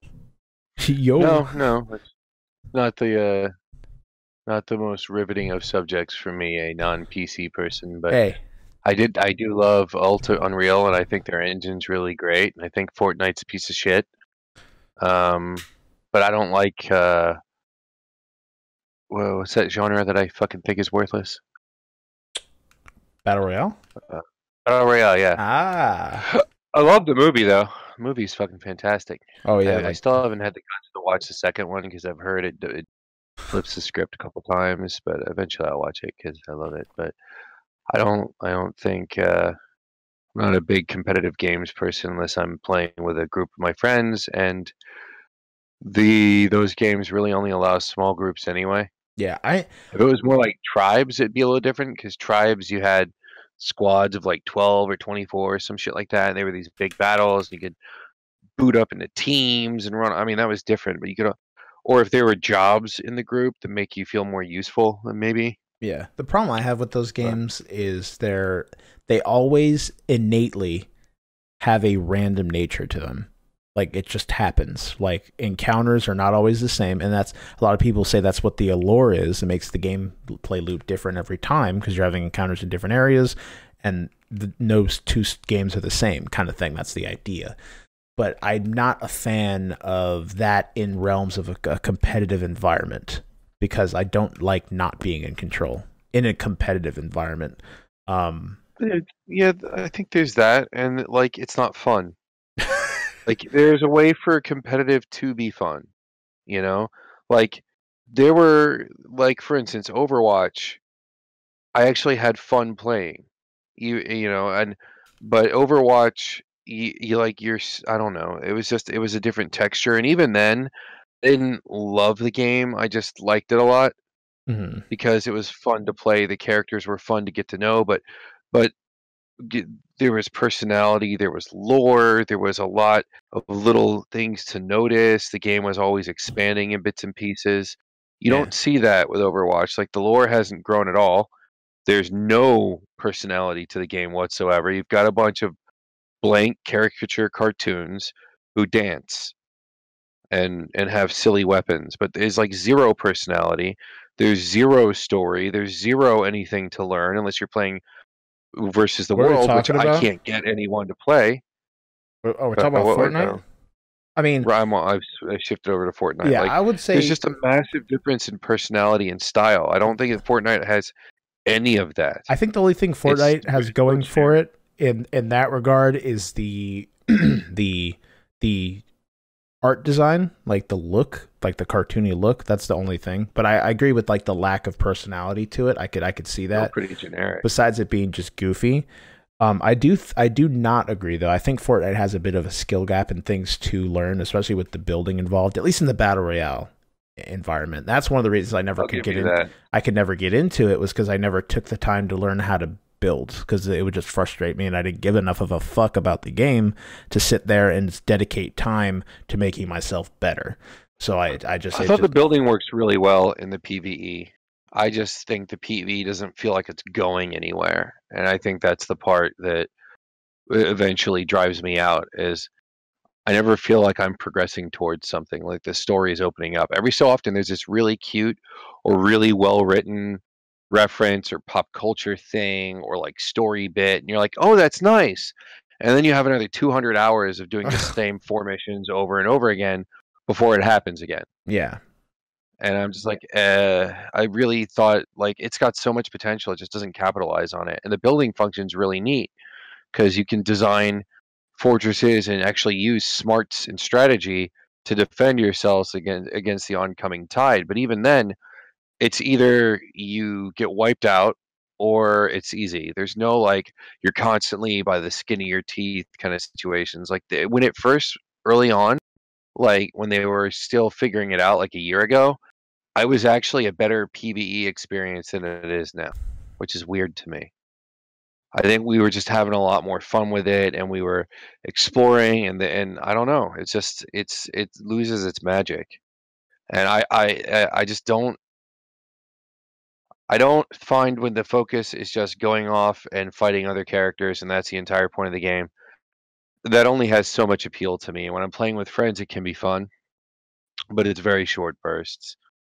Like if they could make games like that deeper, maybe get a bunch of different positions, and maybe uh, maybe somebody who's not a precision fighter could still stand a chance on the battlefield. Maybe make it a role that doesn't involve precision. Make them super durable and they carry a shield, and maybe they go out in front and take damage. You know, something where you give people a variety of roles rather than everybody's in the same exact fucking role and it's the same exact. I don't know. It's just always the same experience for me. Apex does that too. Dull. to a degree, but I think Apex would be my favorite battle royale experience just because it's polished and not Fortnite. So, but um, yeah, again, I'd be- Apex looks good. Yeah, I haven't started because I don't have anybody to play with, and I will not ever be interested in playing a battle royale game by myself. it's pretty fun. We we would need to sit down one day and see if we can get like a third and try and play a few games since I could play it without having to spend uh, for the service since it's free. Um, all right, I think that'd probably conclude our episode. I hope you all have had a good week. I most certainly have. I'm excited for the week coming up. Excited to get back into some of the games we've been grinding away at. Don't give a fuck about the Division 2. Let us know if you do.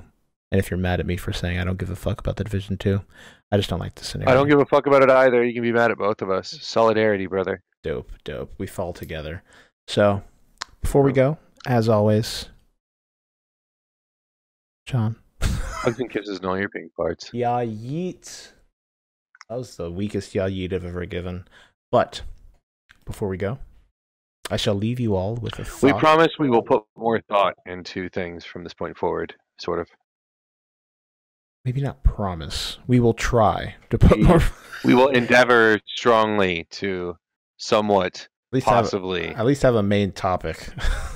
Oh man, I wish uh, I like having main topics that are actually topical to what's going on though, instead of just picking a idea and picking it apart kind of thing. They're both good. I think some of our best ones haven't been topical though. I just think that recently it's been more flying this year has been more of a flying by the seat of our pants instead of putting a little bit of forethought into things. Except for like when I sent you that one article.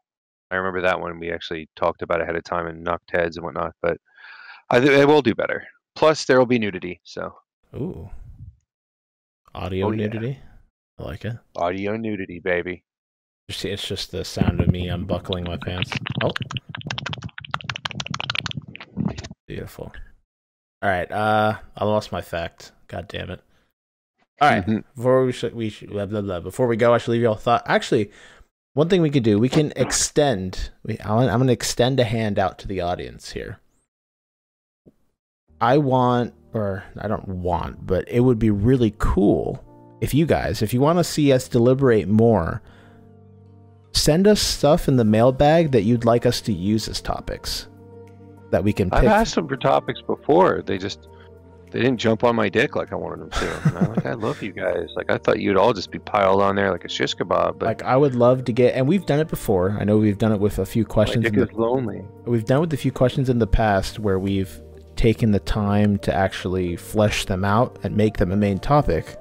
So if there's something that you want us to talk about in regards to a main topic, something you heard throughout the week, or something that comes to your mind that you think we would that we can that you would like to hear us um, expand upon, we would love to hear from you guys. Not that we're being lazy, but we're we're giving you guys a way to shift the show in something that you might find more interesting.